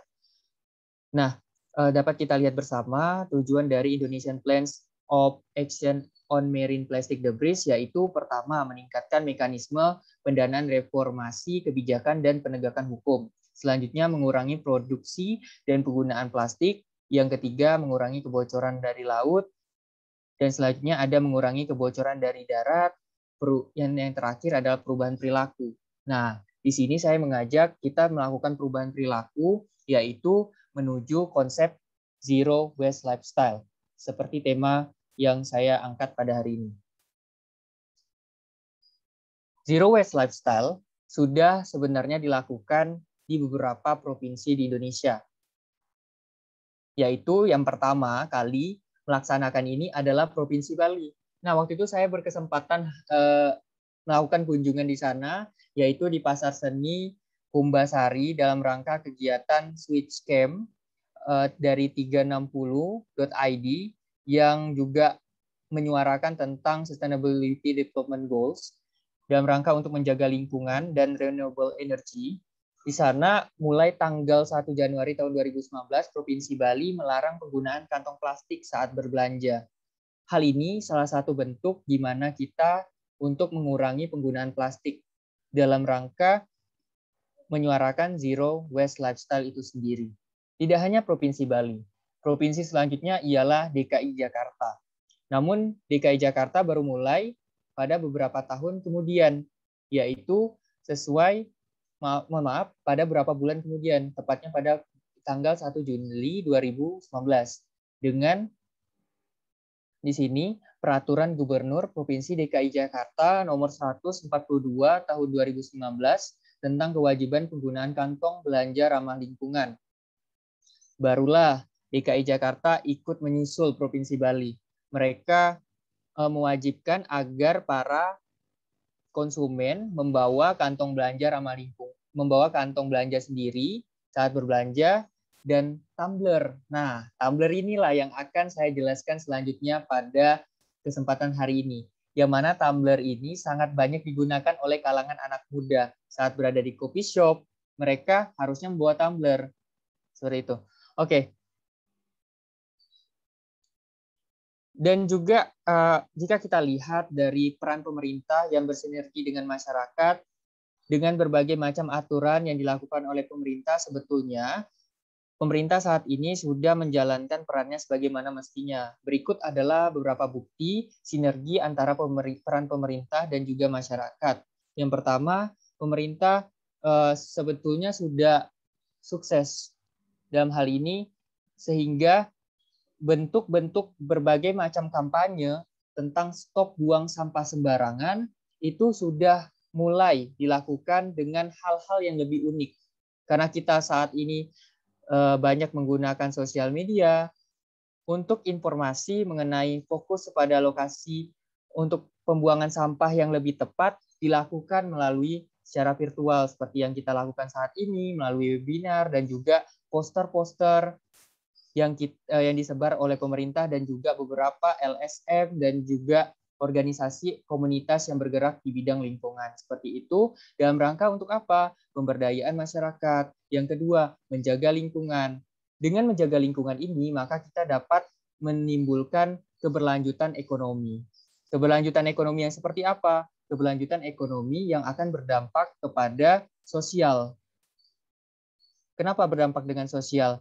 Karena eh, kawan-kawan uh, SMA aku dengan adanya penggunaan barang-barang seperti reusable yang dapat digunakan kembali seperti tumbler itu nantinya akan memunculkan produk-produk tumbler yang beraneka ragam.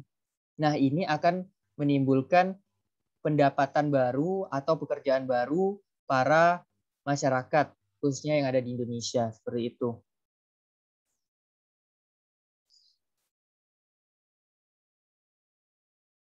Oke.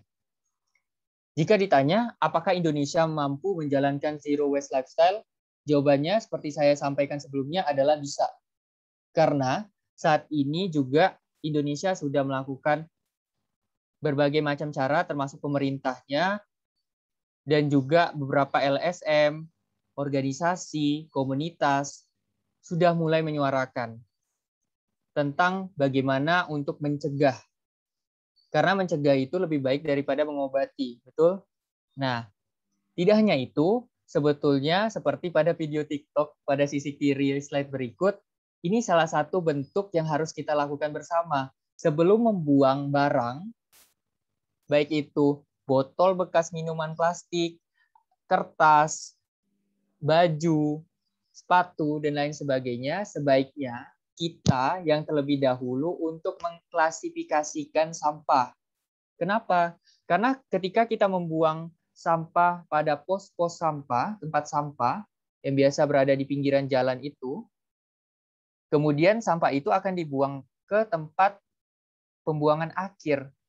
Di situ tidak ada proses lagi untuk memilah sampah. Akan bergabunglah nih sampah styrofoam. Nah, seperti kita tahu juga saya ingin menyampaikan bahwa sampah styrofoam itu tidak dapat didaur ulang. Bagaimana? Maksudnya sangat lama untuk proses degradasinya. Nah, bagaimana nantinya dia akan bisa diperba akan berkesinambungan dengan lingkungan? Hal ini tentu saja akan berdampak merusak lingkungan. Maka daripada itu, Eh, di sini harusnya kita mengklasifikasikan sampah terlebih dahulu agar sampah yang telah diklasifikasikan tersebut dapat didaur ulang. Hal inilah yang dinamakan dengan konsep zero waste lifestyle, yaitu pertama kita harus mencegah, meminimalisir. Kemudian kita harusnya mengklasifikasikan terlebih dahulu sebelum membuang sampah itu di tempat pembuangan sampah. Nah, mari kita simak video TikTok berikut sebagai salah satu wujud yang telah dilakukan salah satu daerah di Indonesia dalam menjalankan zero waste lifestyle. Siapa yang kelewatan instalasinya sejauh mata memandang di Asta District? Nah, sekarang mereka buka lagi instalasinya, tapi kali ini di Senayan City. Cus bawa baju kalian yang sudah tidak terpakai dan pilih mana yang masih layak pakai untuk di upcycle dan mana yang udah nggak layak pakai untuk di recycle. Awas jangan sampai ketukar boxnya waktu dimasukin karena beda jenis sampahnya, beda juga pengelolaannya. Selain itu, kita bisa bawa sampah dari kemasan sekali pakai seperti saset, bubble wrap, botol kaca, ataupun botol plastik, bahkan styrofoam, tinggal dimasukin aja ke boxnya sesuai dengan jenis sampahnya. Jangan lupa untuk masuk ke instalasi di dalamnya karena di sana kalian bisa melihat produk-produk hasil dari daur ulang. Yuk semangat untuk milah dan mengelola sampahnya karena kalau bukan kita siapa lagi? Nah, itu tadi eh, teman-teman SMA aku SMA, SMK sederajat kita memang udah harus terlebih dahulu memulai dari diri kita sendiri karena sesuai dengan kata kakak yang dari TikTok tadi, kalau bukan kita siapa lagi? Siapa? Oke, okay uh, kami dari Single Pontianak juga menyuarakan, ayo kita mewujudkan Indonesia yang merdeka tanpa limbah plastik seperti uh, yang harus kita lakukan yaitu di sini kami menyampaikan Fight for Clean Ocean yaitu mewujudkan Indonesia merdeka tanpa plastik. Caranya gimana? Caranya membawa tumbler. Saat kita olahraga, selalulah membawa tumbler, jangan menggunakan minuman kalau bisa kurangi penggunaan minuman yang berkemasan single use plastik. Tapi boleh dicoba uh, minuman yang berkemasan kaca karena kaca dapat digunakan kembali seperti yang dijelaskan atau dipaparkan sebelumnya oleh yang terhormat Bapak Kiki. Oke, uh, selain itu kita boleh beralih yang tadinya menggunakan sedotan plastik kepada sedotan kaca ataupun aluminium karena uh, dapat dilihat pada pemaparan saya sebelumnya pada video mengenai kondisi Indonesia saat ini yaitu kura-kura mereka bisa meninggal ataupun sakit karena masuknya sedotan plastik ke dalam hidung mereka dan itu sangat miris terjadi. harusnya kita sebagai manusia yang memiliki akal dan budi pekerti sudah sepantasnya untuk beralih dari sedotan plastik menggunakan sedot aluminium ataupun sedotan kaca seperti itu. Nah, saya ingin menjelaskan nantinya apa saja sih eh, contoh-contoh dari zero waste lifestyle itu? Apa-apa saja sih produk yang dapat kita gunakan? Nah, maka daripada itu berikut adalah penjelasan dari zero waste lifestyle, yaitu gaya hidup nol sampah yang merupakan upaya yang dapat kita tempuh untuk memberikan dampak baik terhadap lingkungan.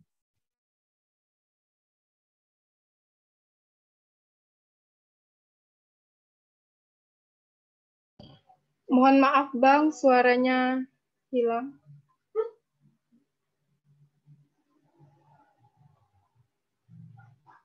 Maaf Bang, Bang Giri, suaranya hilang.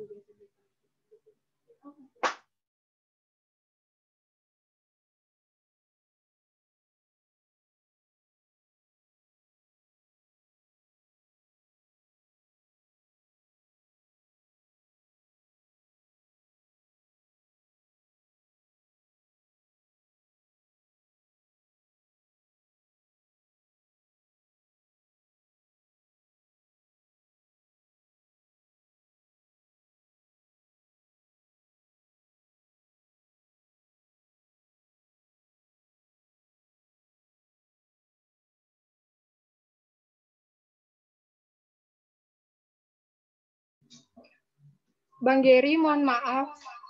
Suaranya hilang.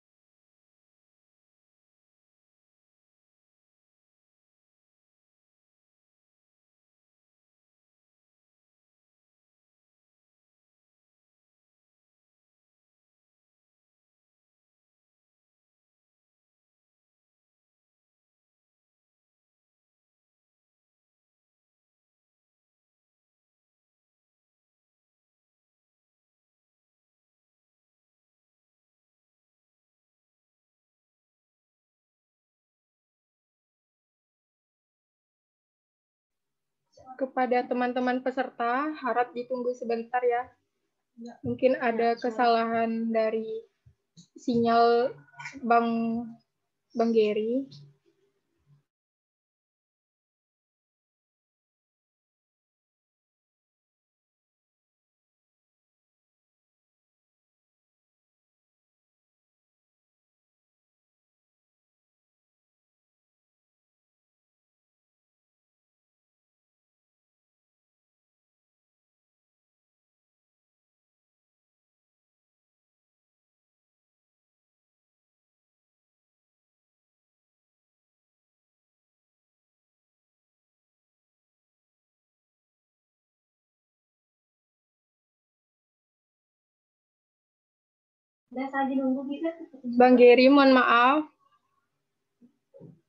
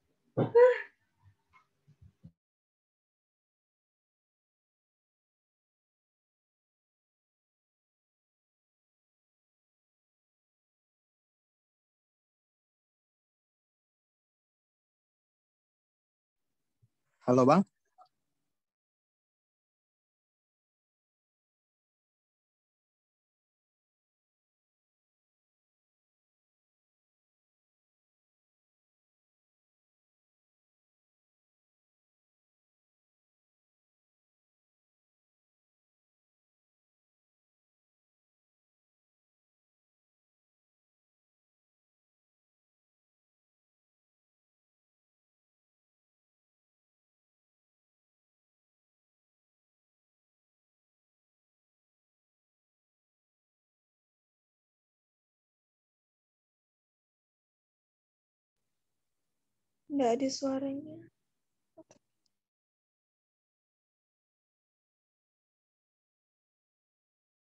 tujuh mo mohon maaf teman-teman mungkin Bang Geri tidak mendengar. 7320. Bang Geri?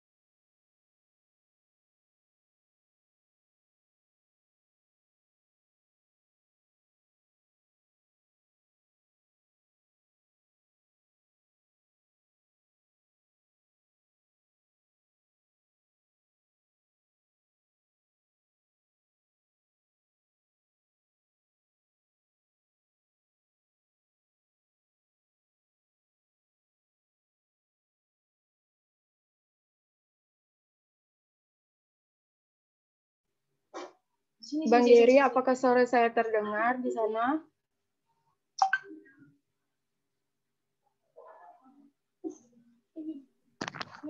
Halo?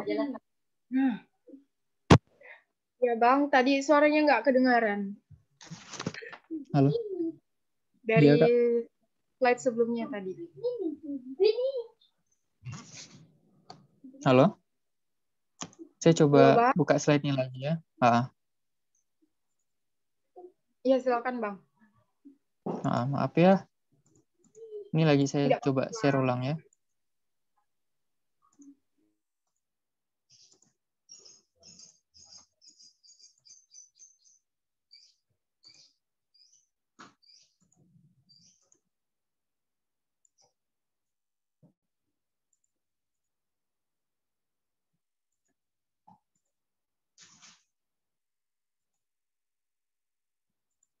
Ini gimana? Kelihatan nggak ya? Kelihatan ya?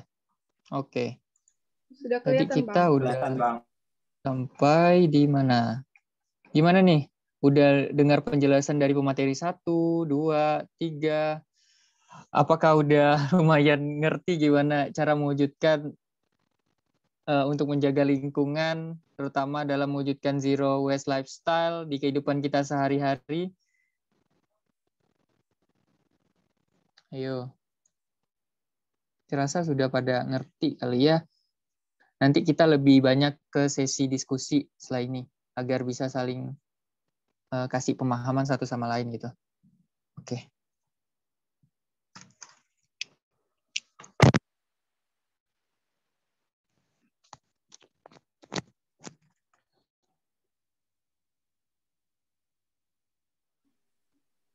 Halo Bang. Baiklah, mungkin terkendala Halo. sama sinyal. Ya, Halo, iya, ah. saya coba pakai suara aja kalau gitu ya. Eh, jadi zero waste lifestyle ini salah satu produk yang banyak digunakan sebagai upaya alternatif menjaga lingkungan adalah penggunaan tumbler. Kenapa tumbler? Tumbler itu apa itu tumbler dulu ya? Tumbler itu adalah produk biasanya sih terbuat dari plastik, juga ada yang terbuat dari aluminium, bahkan ada yang terbuat seperti termos, yaitu gelas yang dapat digunakan untuk mengisi ulang minuman, refill. Jadi eh, anak-anak sekarang nih banyak menggunakan tumbler dengan untuk saat berbelanja ke coffee shop seperti itu. Kenapa tumbler? Kenapa? Karena tumbler itu memiliki berbagai macam manfaat. Pertama, ini dapat lebih hemat. Kenapa lebih hemat? Karena banyak sekarang untuk gerai-gerai kopi telah membuka diskonan 10%, bahkan setengah harga jika para pengunjungnya menggunakan tumbler sendiri. Ini salah satu bentuk kontribusi juga para pekerja bisnis kopi untuk mewujud selain mewujudkan ekonomi mereka meningkat juga mewujudkan SDGs tahun 2030 seperti itu. Beberapa tempat penjualan minuman memberikan diskon dan promosi pembelian khusus untuk pengguna, pelanggannya yang membawa tumbler. Kemudian yang kedua, manfaat dari penggunaan tumbler itu berpartisipasi menjaga lingkungan hidup. Kenapa berpartisipasi? Karena memakai tumbler sendiri itu artinya kita tidak berkontribusi dalam membuat sampah plastik, kertas, karton, dan lain-lain yang menjadi bagian dari gelas yang dipakai saat membeli minuman kekinian. Tentu saja nih, itu dapat mengurangi penggunaan single use plastik. Karena kalau dulu ya, saat kita beli boba, ya tapi mungkin sampai sekarang kita beli boba selalu ndak bawa tumbler ya mungkin. Saya juga kadang hilap saat belanja kelupaan bawa tumbler kan. Nah, dikasih gelas boba. Gelas boba itu kan terbuat dari plastik, tapi saat kita berbelanja menggunakan tumbler, maka kita sudah berpartisipasi untuk mengurangi dalam penggunaan plastik yang nantinya plastik single use plastik itu atau botol minuman yang terbuat dari plastik akan terbuang lagi end to end ke lingkungan. Nah, karena plastik kan tadi seperti saya sampaikan itu sulit teruraikan oleh alam. Belum lagi sampah plastik berukuran mikro membuat makhluk hidup terancam bahaya. Seperti saya sudah jelaskan sebelumnya. Kenapa bisa berbahaya terhadap makhluk hidup? Karena sampah plastik yang berukuran mikro dapat masuk ke tubuh hewan, terutama yang ter, uh, sampah plastik mikro yang tercemar di lautan atau perairan yang masuk ke tubuh ikan, kemudian ikan dimakan oleh manusia sehingga berdampak kepada berbagai macam penyakit oleh uh, di tubuh manusia itu sendiri. Kemudian yang ketiga, menjaga keberlangsungan sumber daya alam. Jika plastik sendiri pakai bisa merusak alam, wadah minuman dari karton juga tidak terlalu ramah lingkungan. Kan banyak juga tuh kemasan yang terbuat dari karton. Tidak hanya menyuarakan tentang penggu, uh, mengurangi penggunaan sampah plastik, tapi kita dengan membawa tumbler sendiri dari rumah atau dengan diri kita masing-masing, di situ kita juga mengurangi dari penggunaan kart kemasan karton dari wadah minuman. Karena wadah karton ke untuk kemasan minuman juga tidak terlalu ramah lingkungan. Karton pembuat gelas diambil dari serat kayu kan. Nah, serat kayu itu berasal dari pohon-pohon yang ada di hutan. Sini ngerti kan? Jadi uh, di situ ditebanglah pohon. Kan sekarang hutan udah makin habis terutama uh, lagi karena isu atau memang bukan isu ini memang udah terjadi di Indonesia yaitu pemindahan ibu kota baru di provinsi Kalimantan Timur.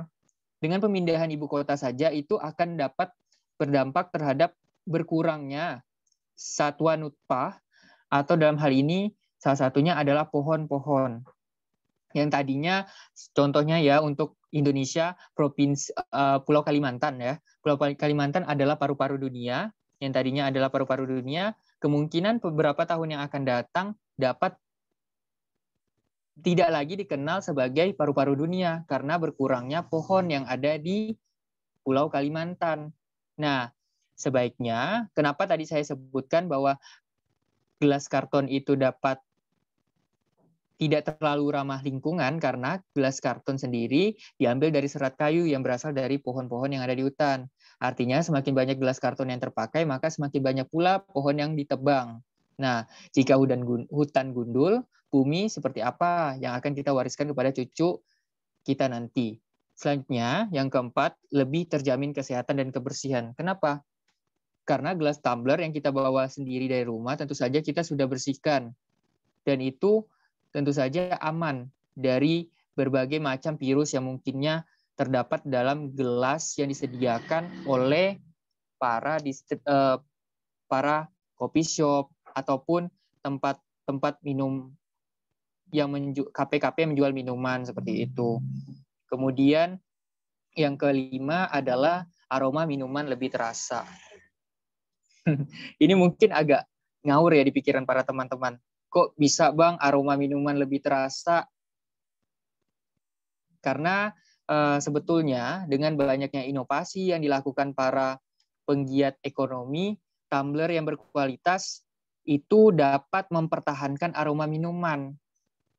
Misalkan nih teman-teman SMA banyak uh, suka atau dan banyak minum kopi gitu membawa air minum kopi dalam gelas tumbler. Itu tentu saja kalau gelas tumbler itu dapat lebih menahan aroma minuman dan dapat kita bawa ke mana-mana seperti itu. Lebih mudah kita masukkan dalam tas dan kualitas tumbler yang baik juga bisa menjaga kualitas kopi kita yang kita bawa itu kita rasa khas kopi bisa bertahan di suhu panas ataupun dingin karena bermacam produk tumbler sendiri ada yang terbuat eh, dari aluminium yang seperti termos seperti itu. Nah, itu tentu saja bisa menahan suhu hangat dari minuman yang kita bawa ataupun suhu dingin yang minuman yang kita bawa seperti itu. Selanjutnya yang terakhir adalah kualitas minuman lebih terjaga. Kenapa kualitas minuman lebih terjaga? Karena tumbler yang bagus bisa membuat minuman yang hangat dan dingin bertahan di suhu yang lama seperti itu. Seperti saya jelaskan tadi, tumbler yang baik memiliki desain memakai teknologi untuk mempertahankan suhu panas atau dingin. Bahkan satu tumbler bisa dipakai untuk membawa minuman panas dan dingin bergantian tanpa merusak isi tumbler. Jadi misalkan hari ini kita bawa tumbler, uh, bawa tumbler diisi minuman airan air hangat, kemudian besok ditam, uh, diisi dengan air dingin. Itu tidak dapat merusak tumbler karena banyak sekali uh, jenis-jenis tumbler yang sekarang dengan teknologinya masing-masing seperti itu dapat mempertahankan dari kualitas tumbler itu sendiri. Di samping kita menjaga lingkungan agar lingkungan tidak tercemar yang namanya mikroplastik yang disebabkan dari produk-produk single use plastik, yaitu single use plastik merupakan produk produk yang digunakan sekali pakai atau end to end. Produk yang sekali pakai ini sebetulnya tidak hanya gelas minuman plastik. Solusinya tadi kan kalau gelas minuman plastik adalah uh, tumbler yang seperti saya sampaikan. Tapi tidak hanya ini, namun masih banyak lagi seperti sedotan, kemudian ada uh, gelas, uh, mohon maaf, tas kresek saat berbelanja di supermarket. Kalau tas belanja kresek, uh, solusinya adalah penggunaan tote bag seperti itu. Oke, sepertinya saya sudah bisa melanjutkan lagi nih. Uh, Oke. Baik, sebentar saya coba untuk membuka kembali. Semoga ini bisa kita buka.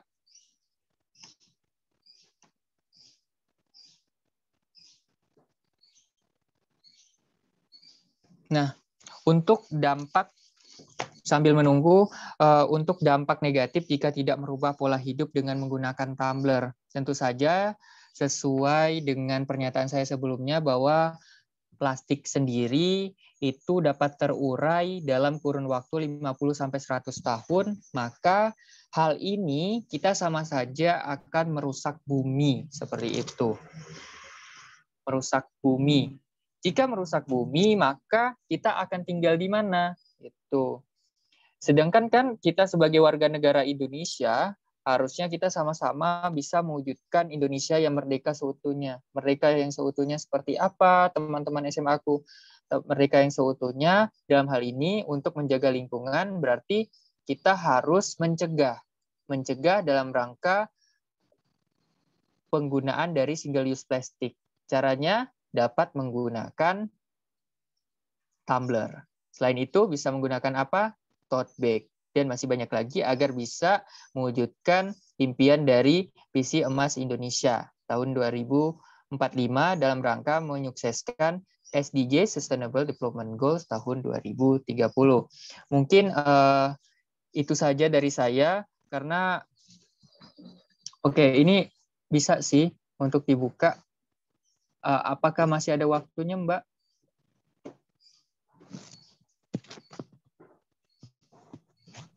Oh, mohon maaf Bang, waktunya sudah habis. Sudah habis ya? Oke, okay, nggak apa-apa.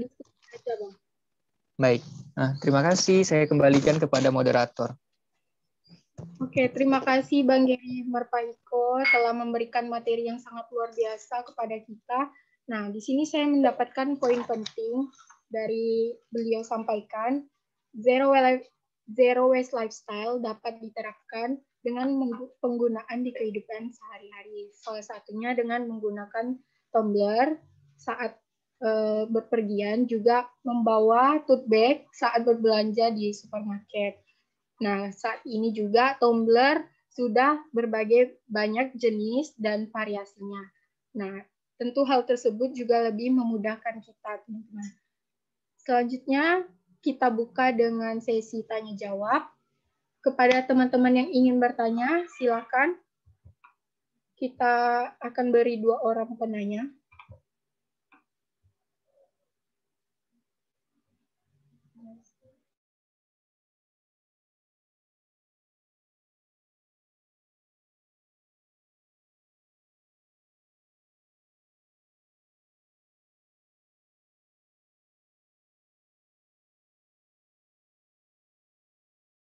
Silakan teman-teman.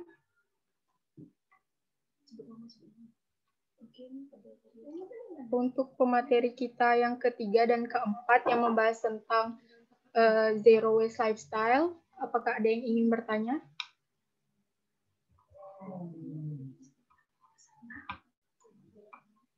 Silakan teman-teman.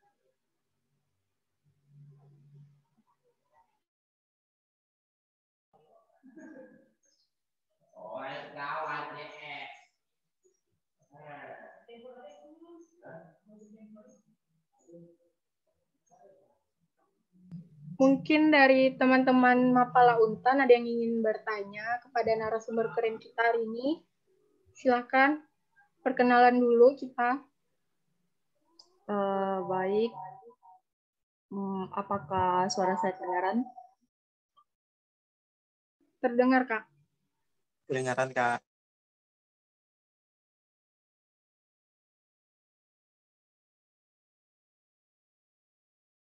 Uh,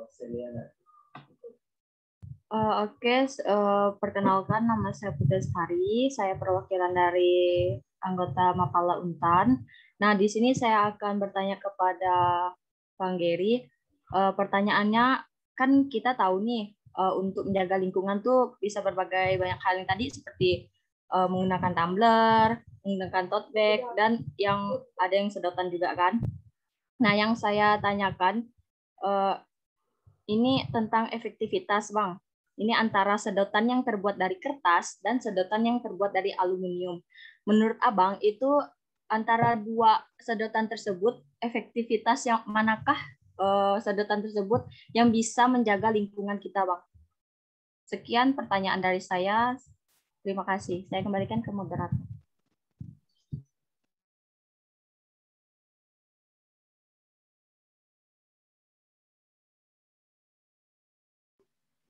Terima Bagaimana kasih atas Mbak pertanyaan dari Kak Putri. Mungkin bisa langsung dijawab oleh Bang Geri. Oke, Mbak siapa tadi namanya? Kak siapa? Putri. Kak Putri, oke. Kak Putri ini dari prodi apa kalau boleh tahu? Biologi? Fakultas Ekonomi, Bang. Oh, ekonomi berarti berbicara tentang uang ya. Kalau tadi tentang uh, biologi, saya mau mengenalkan tentang apa ya dari sisi dampak kesehatannya seperti itu. Oke, uh, mungkin saya menjelaskan sedikit kenapa. Oke, saya langsung menjawab aja ya to the point.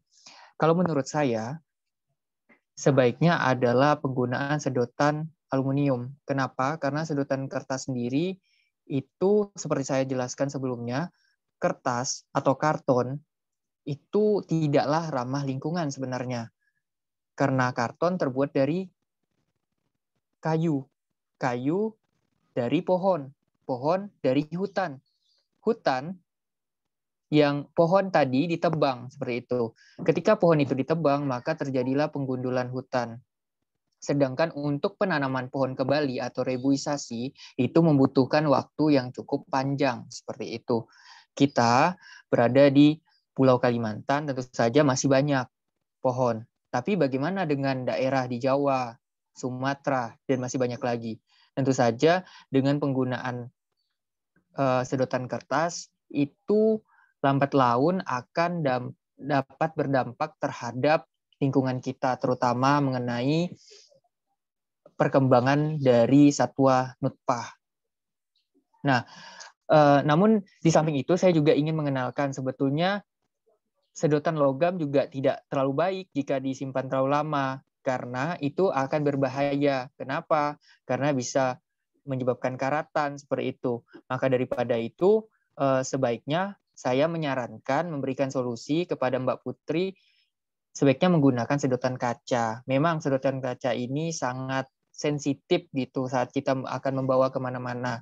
Tapi sedotan kaca lebih bagus digunakan. Pertama, sedotan kaca bersifat uh, kasat mata kita lihat gitu. Ketika ada kotoran kita dapat melihatnya, dapat dibersihkan seperti itu, transparan maksud saya.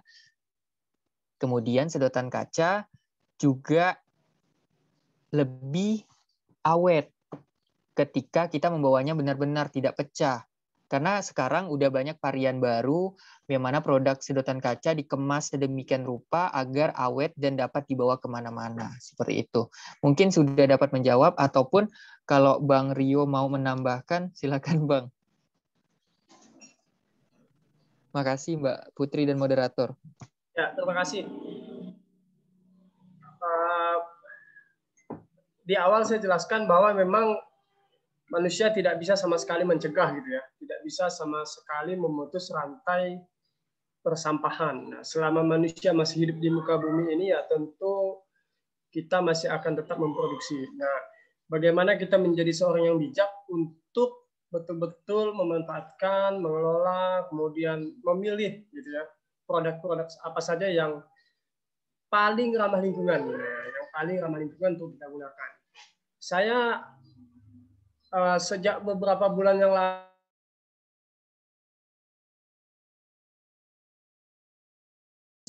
kebiasaan kita membeli makan makanan tuh dengan cara bungkus. Makan siang kah, makan malam misalnya. Kita beli nasi bungkus katakan.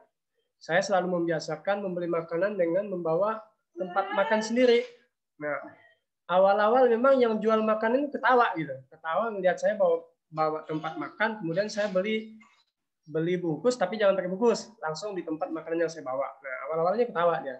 Tapi lama-lama dia paham. Kemudian itu salah satu apa namanya upaya untuk tahuan bahwa apa yang kita lakukan itu sebetulnya sangat membantu untuk keberlangsungan dan mengurangi sampah. Nah, kan kalau kawan-kawan mahasiswa, kawan-kawan adik-adik SMA, satu hari tiga kali makan nasi bungkus, sudah berapa banyak sampah yang kita produksi, walaupun kertas, gitu ya. Gitu sih tambahan dari saya. Baik, terima kasih. Bagaimana Kak Putri? Apakah sudah jelas? Uh, terima kasih atas jawaban dari Bang Geri dan Bang Rio. Itu sangat sangat bermanfaat sih bagi saya dan menambah pengetahuan saya. Baik, terima kasih atas jawabannya, Bang. Selanjutnya saya serahkan ke moderator. Tambahan sedikit lagi dari saya, moderator, bahwa uh, perubahan sikap, perubahan apa perilaku gaya hidup zero zero waste lifestyle bukan hanya sekedar wadah makanan ya, tapi bagaimana kita membiasakan ke kantor misalnya jalan kaki, uh, kuliah misalnya pakai sepeda gitu ya, itu dalam rangka mengurangi emisi dan hemat hemat energi, hemat secara ekonomi, hemat secara energi dan dan kita kita sehat tentunya kan bersepeda, go west lah kata orang Jakarta. Nah itu juga bagian dari zero zero waste lifestyle sebetulnya kalau kita kita terjemahkan secara luas gitu ya. Betul betul, Bang Rio. Mungkin saya juga ingin menambahkan nih, uh, zero waste lifestyle itu tidak hanya mengenai seperti gas emisi yang disampaikan oleh Bang Rio tadi, Eh, terus juga mengenai penggunaan barang-barang reusable yang dapat digunakan kembali, bukan barang-barang single use plastik misalkan, tapi juga kepada produk-produk uh, maksud saya adalah memanfaatkan kembali seperti sisa makanan seperti nasi gitu yang mungkin sudah yang tersisa dapat digunakan kembali dibuat kerupuk seperti itu. Itu juga termasuk bentuk dari zero waste lifestyle. Karena waste itu sendiri atau sampah tidak hanya mengenai sampah non-organik, tapi juga sampah organik seperti itu. Oke, boleh dilanjutkan, Mbak Moderator. Makasih. Baik, terima kasih atas jawaban dari Bang Bang Geri dan Bang Rio. Mungkin kita langsung masuk ke pertanyaan kedua. Silakan tadi dari Mutia tadi raise hand. Mungkin ingin bertanya atau teman-teman yang lain silakan. Maaf Kak, tadi saya ter tertekan Kak, tidak jadi bertanya. Mohon maaf sekali lagi. Ya, tidak apa-apa. Mungkin teman-teman yang lain silakan. Oke, dari Mapala Untan lagi nih. Silakan, Kak Bella.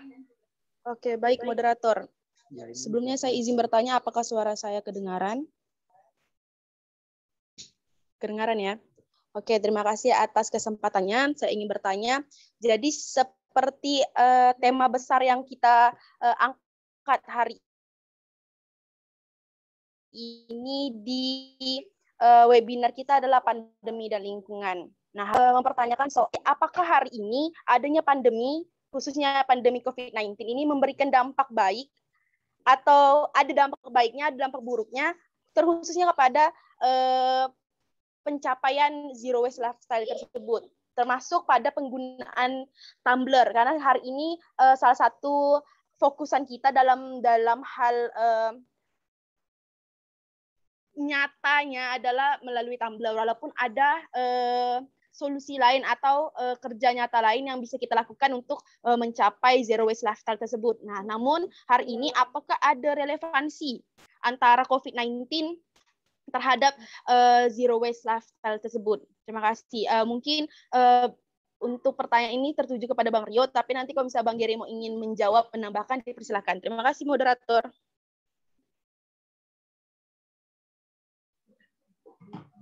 Baik, mungkin dipersilakan kepada Bang Rio untuk menjawab pertanyaan dari Bella.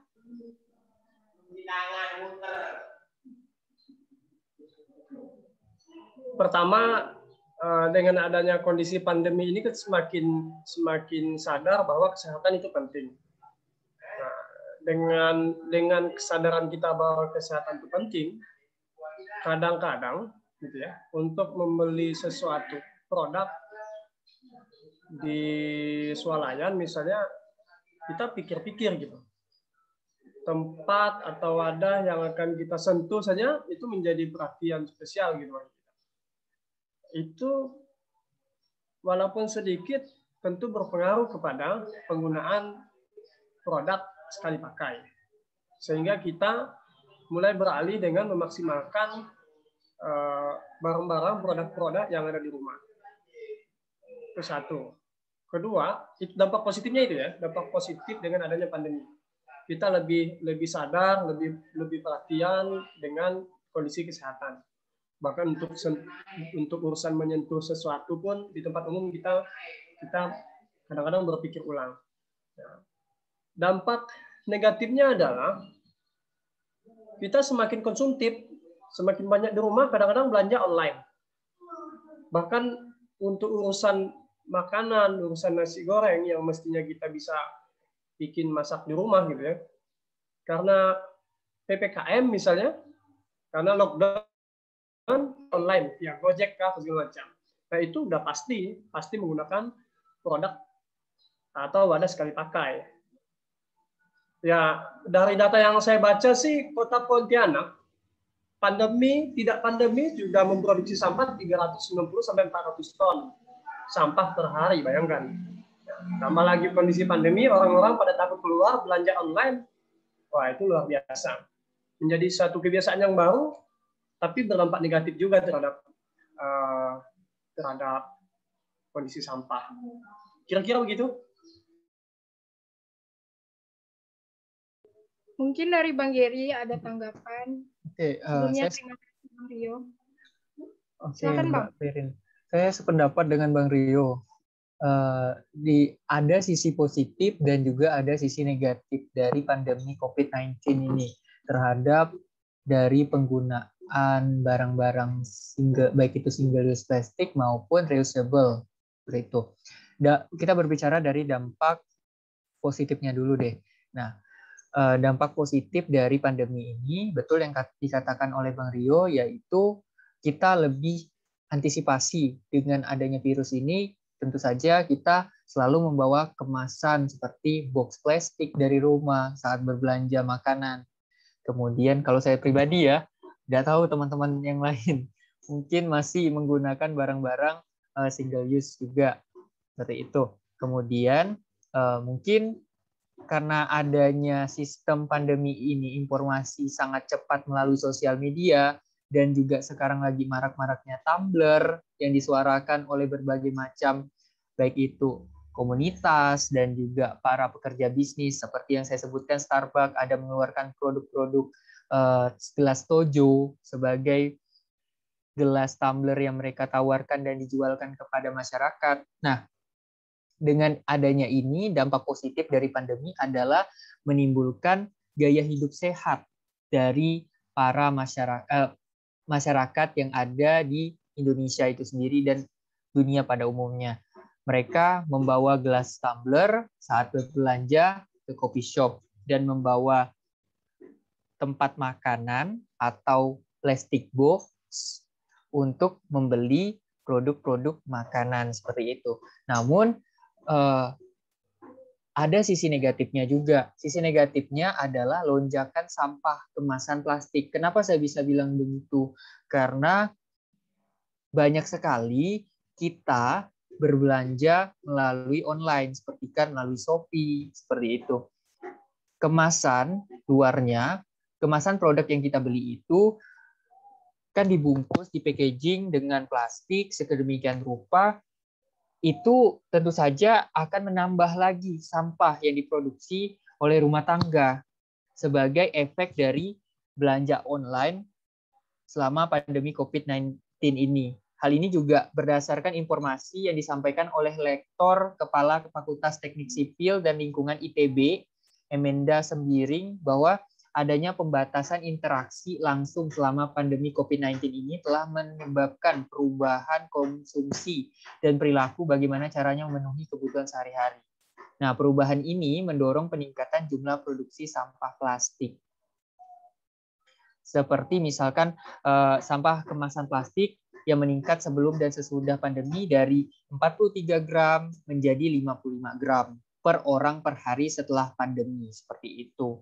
Nah, Hal ini tentu saja kita kalau mau mengatakan dengan adanya pandemi ini apakah berpengaruh terhadap uh, zero waste lifestyle untuk kehidupan masyarakat selama pandemi ini tentu saja berpengaruh. Nah, untuk dikatakan apakah berdampak positif atau negatif, keduanya dapat dipengaruhi, yaitu ada terjadi dampak positif dan juga ada terjadi dampak negatif. Mungkin uh, sudah menjawab ya Mbak Perin kepada Mbak Bella. Terima kasih. Terima kasih untuk Bang Rio dan Bang Geri atas jawaban yang konkret sekali, baik dampak positif maupun dampak negatif. Uh, saya kembalikan ke moderator. Sekali lagi terima kasih. Baik, terima kasih atas jawaban yang sangat keren sekali dari Bang Rio dan Bang Giri. Mungkin satu orang lagi atau tanggapan mungkin dari Dinas Lingkungan Hidup dan Kehutanan yang hadir pada virtual virtual Zoom kita hari ini.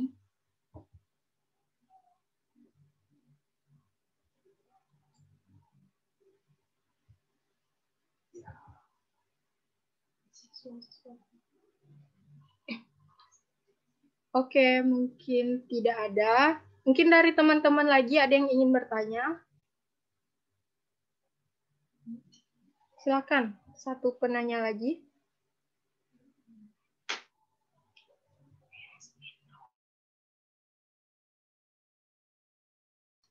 Silakan Kak Rizky Fitria.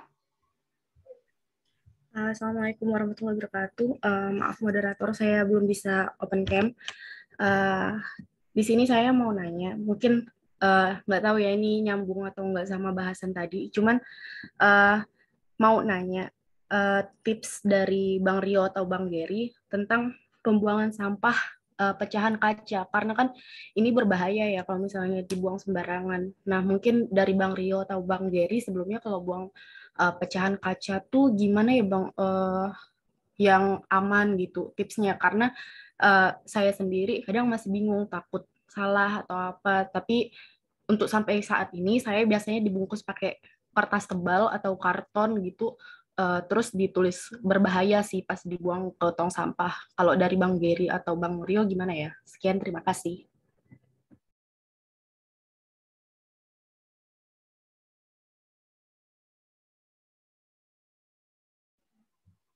Silakan Bang Jerry dulu yang yang pas nih.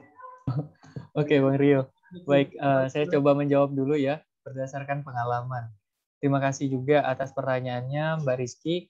Jadi uh, untuk ini solusi dari saya, mungkin kita bisa saling diskusi juga kalau ada informasi yang bisa didapatkan di sini dari teman-teman lain tentang pengalamannya untuk membuang sampah atau limbah pecahan kaca, boleh kita saling sounding di sini ya.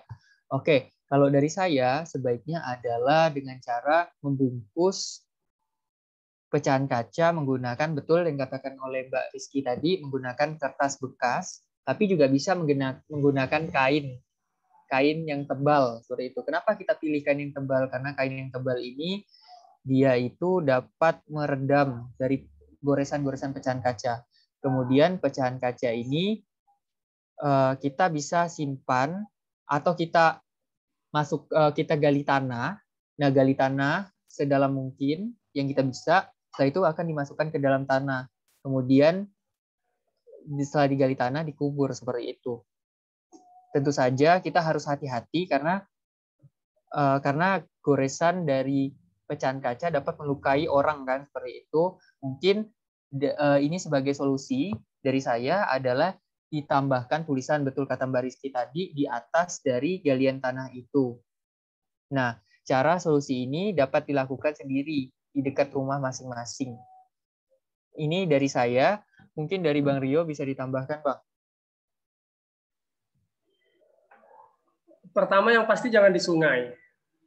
Nah, sangat bahaya bagi kita-kita yang terutama Bang Gary yang selalu berkegiatan di sungai dan di laut gitu ya satu, kedua, jangan di perlintasan orang, bahaya kan.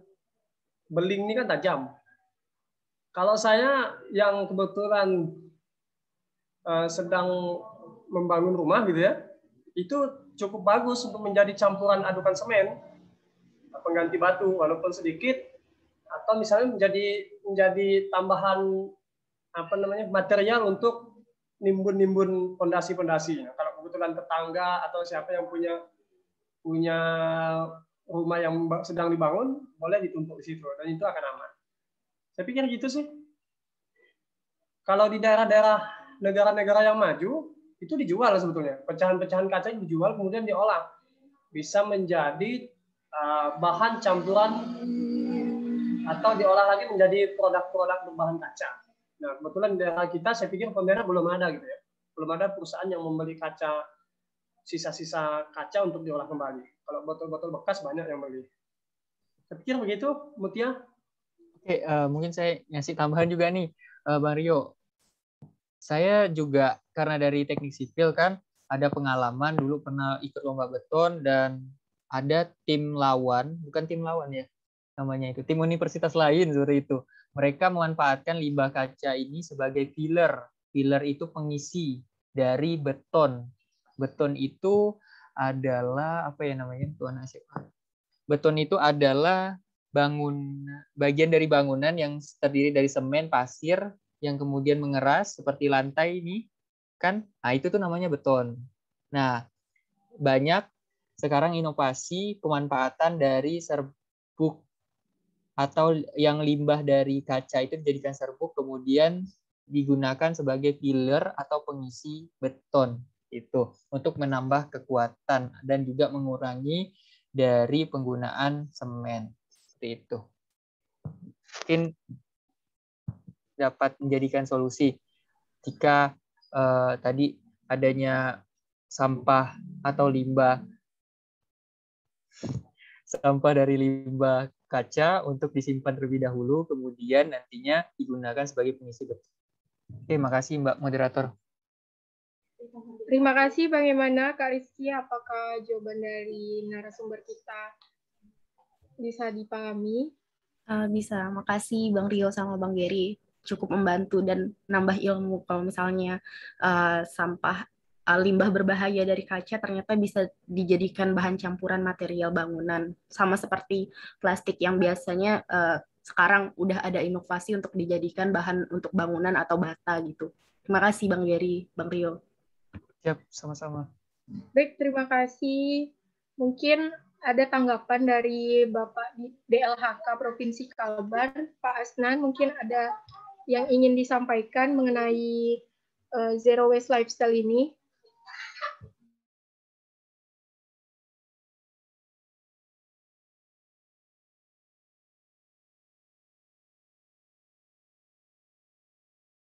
Mungkin Pak Urai, Kak Urai, Kak Urai Eli,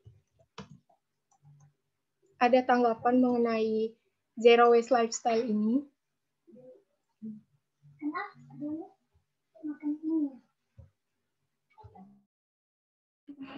Oke, terima kasih atas kesempatannya. Uh, saya Urai Eli Yunida. Bisa kedengaran suaranya, uh, Bapak Ibu, adik-adik? Bisa, Bu. Halo. Iya, Uh, saya uh, anggota Mapala Untan tahun 94, mungkin udah lama sekali ya, sampai junior-junior saya sampai nggak kenal. Uh, senang sekali bisa bergabung di webinar hari ini. Jadi uh, saya hanya ingin menanggapi sedikit. Memang kita harus uh, mengubah paradigma ber, ber, berpikir ya, paradigma berpikir, uh, memilah sampah dari sumbernya, dan harapan kami memang dari adik-adik yang anak-anak kita, generasi kita yang baru ini, uh, untuk dapat membiasakan diri, seperti yang disampaikan oleh Pak Kiki uh, maupun Pak Rio, ya, saya panggil Bapak aja ya, Pak Geri. Terus satu lagi uh, yang dari Angkut, uh, senang sekali uh, bisa berbagi di sini.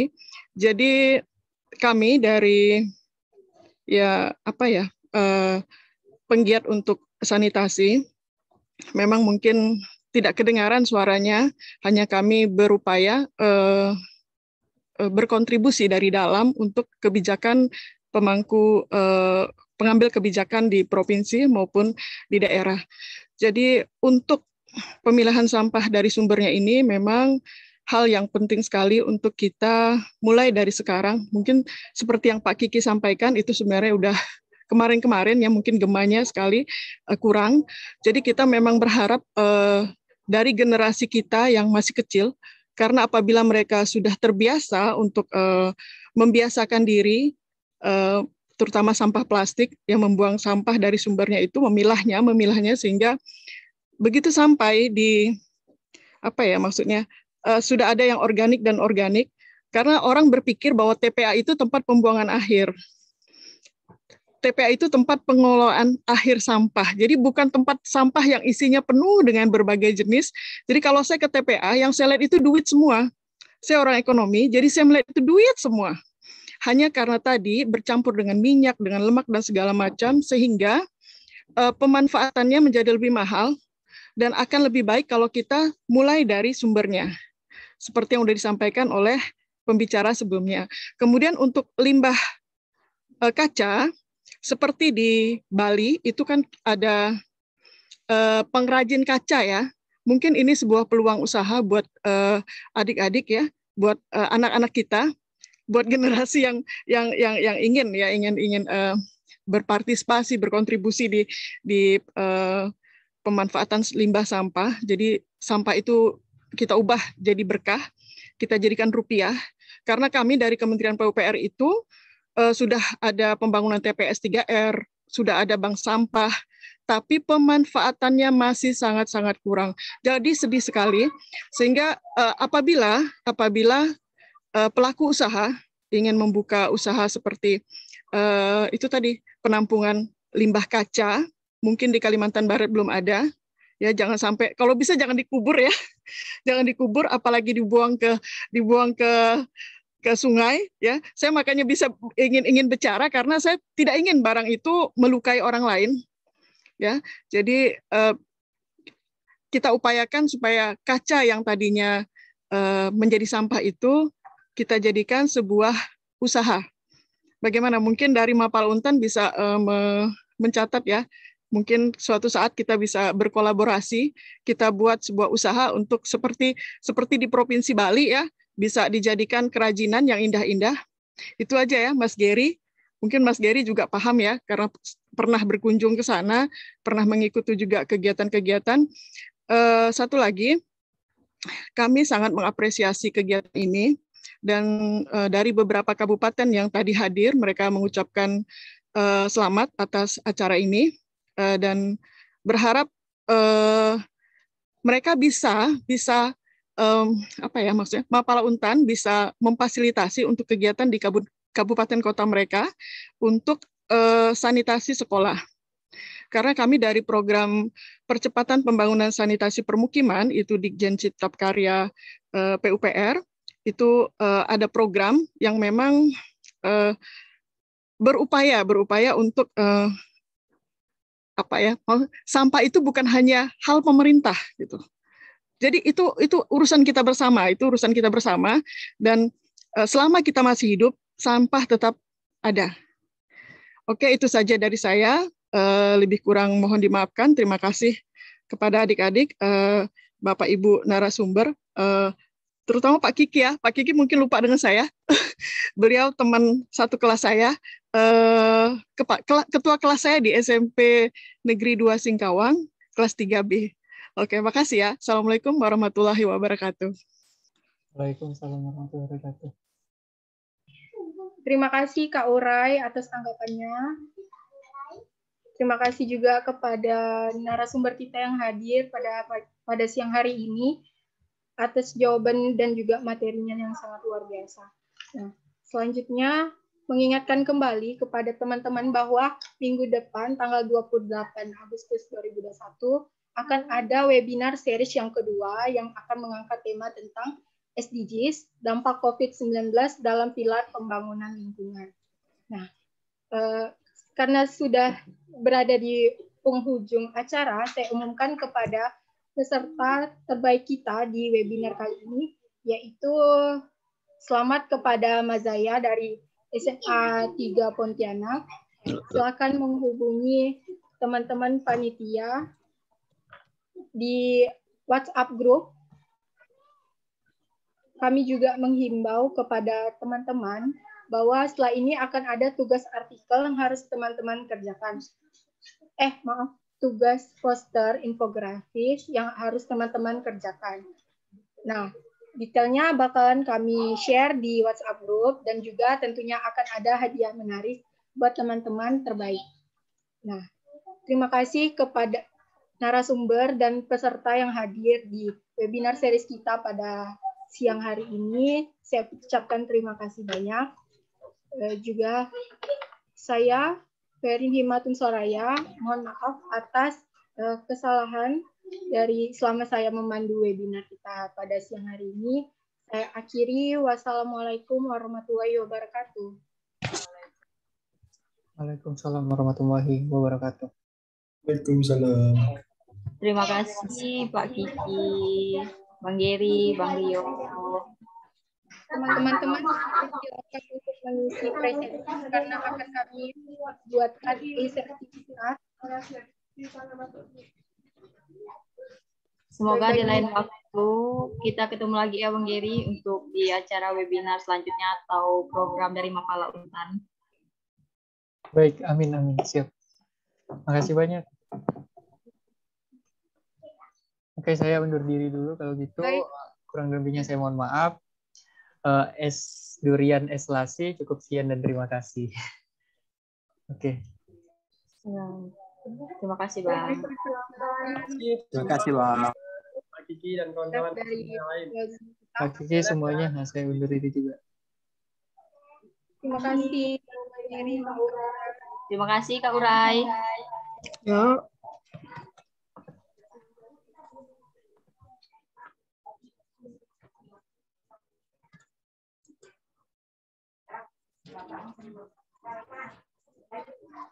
Thank you.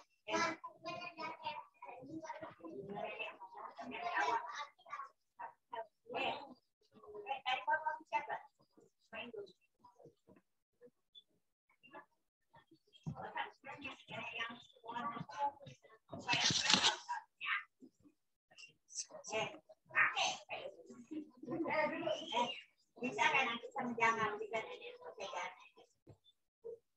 Kamu nggak sakit, problem sana.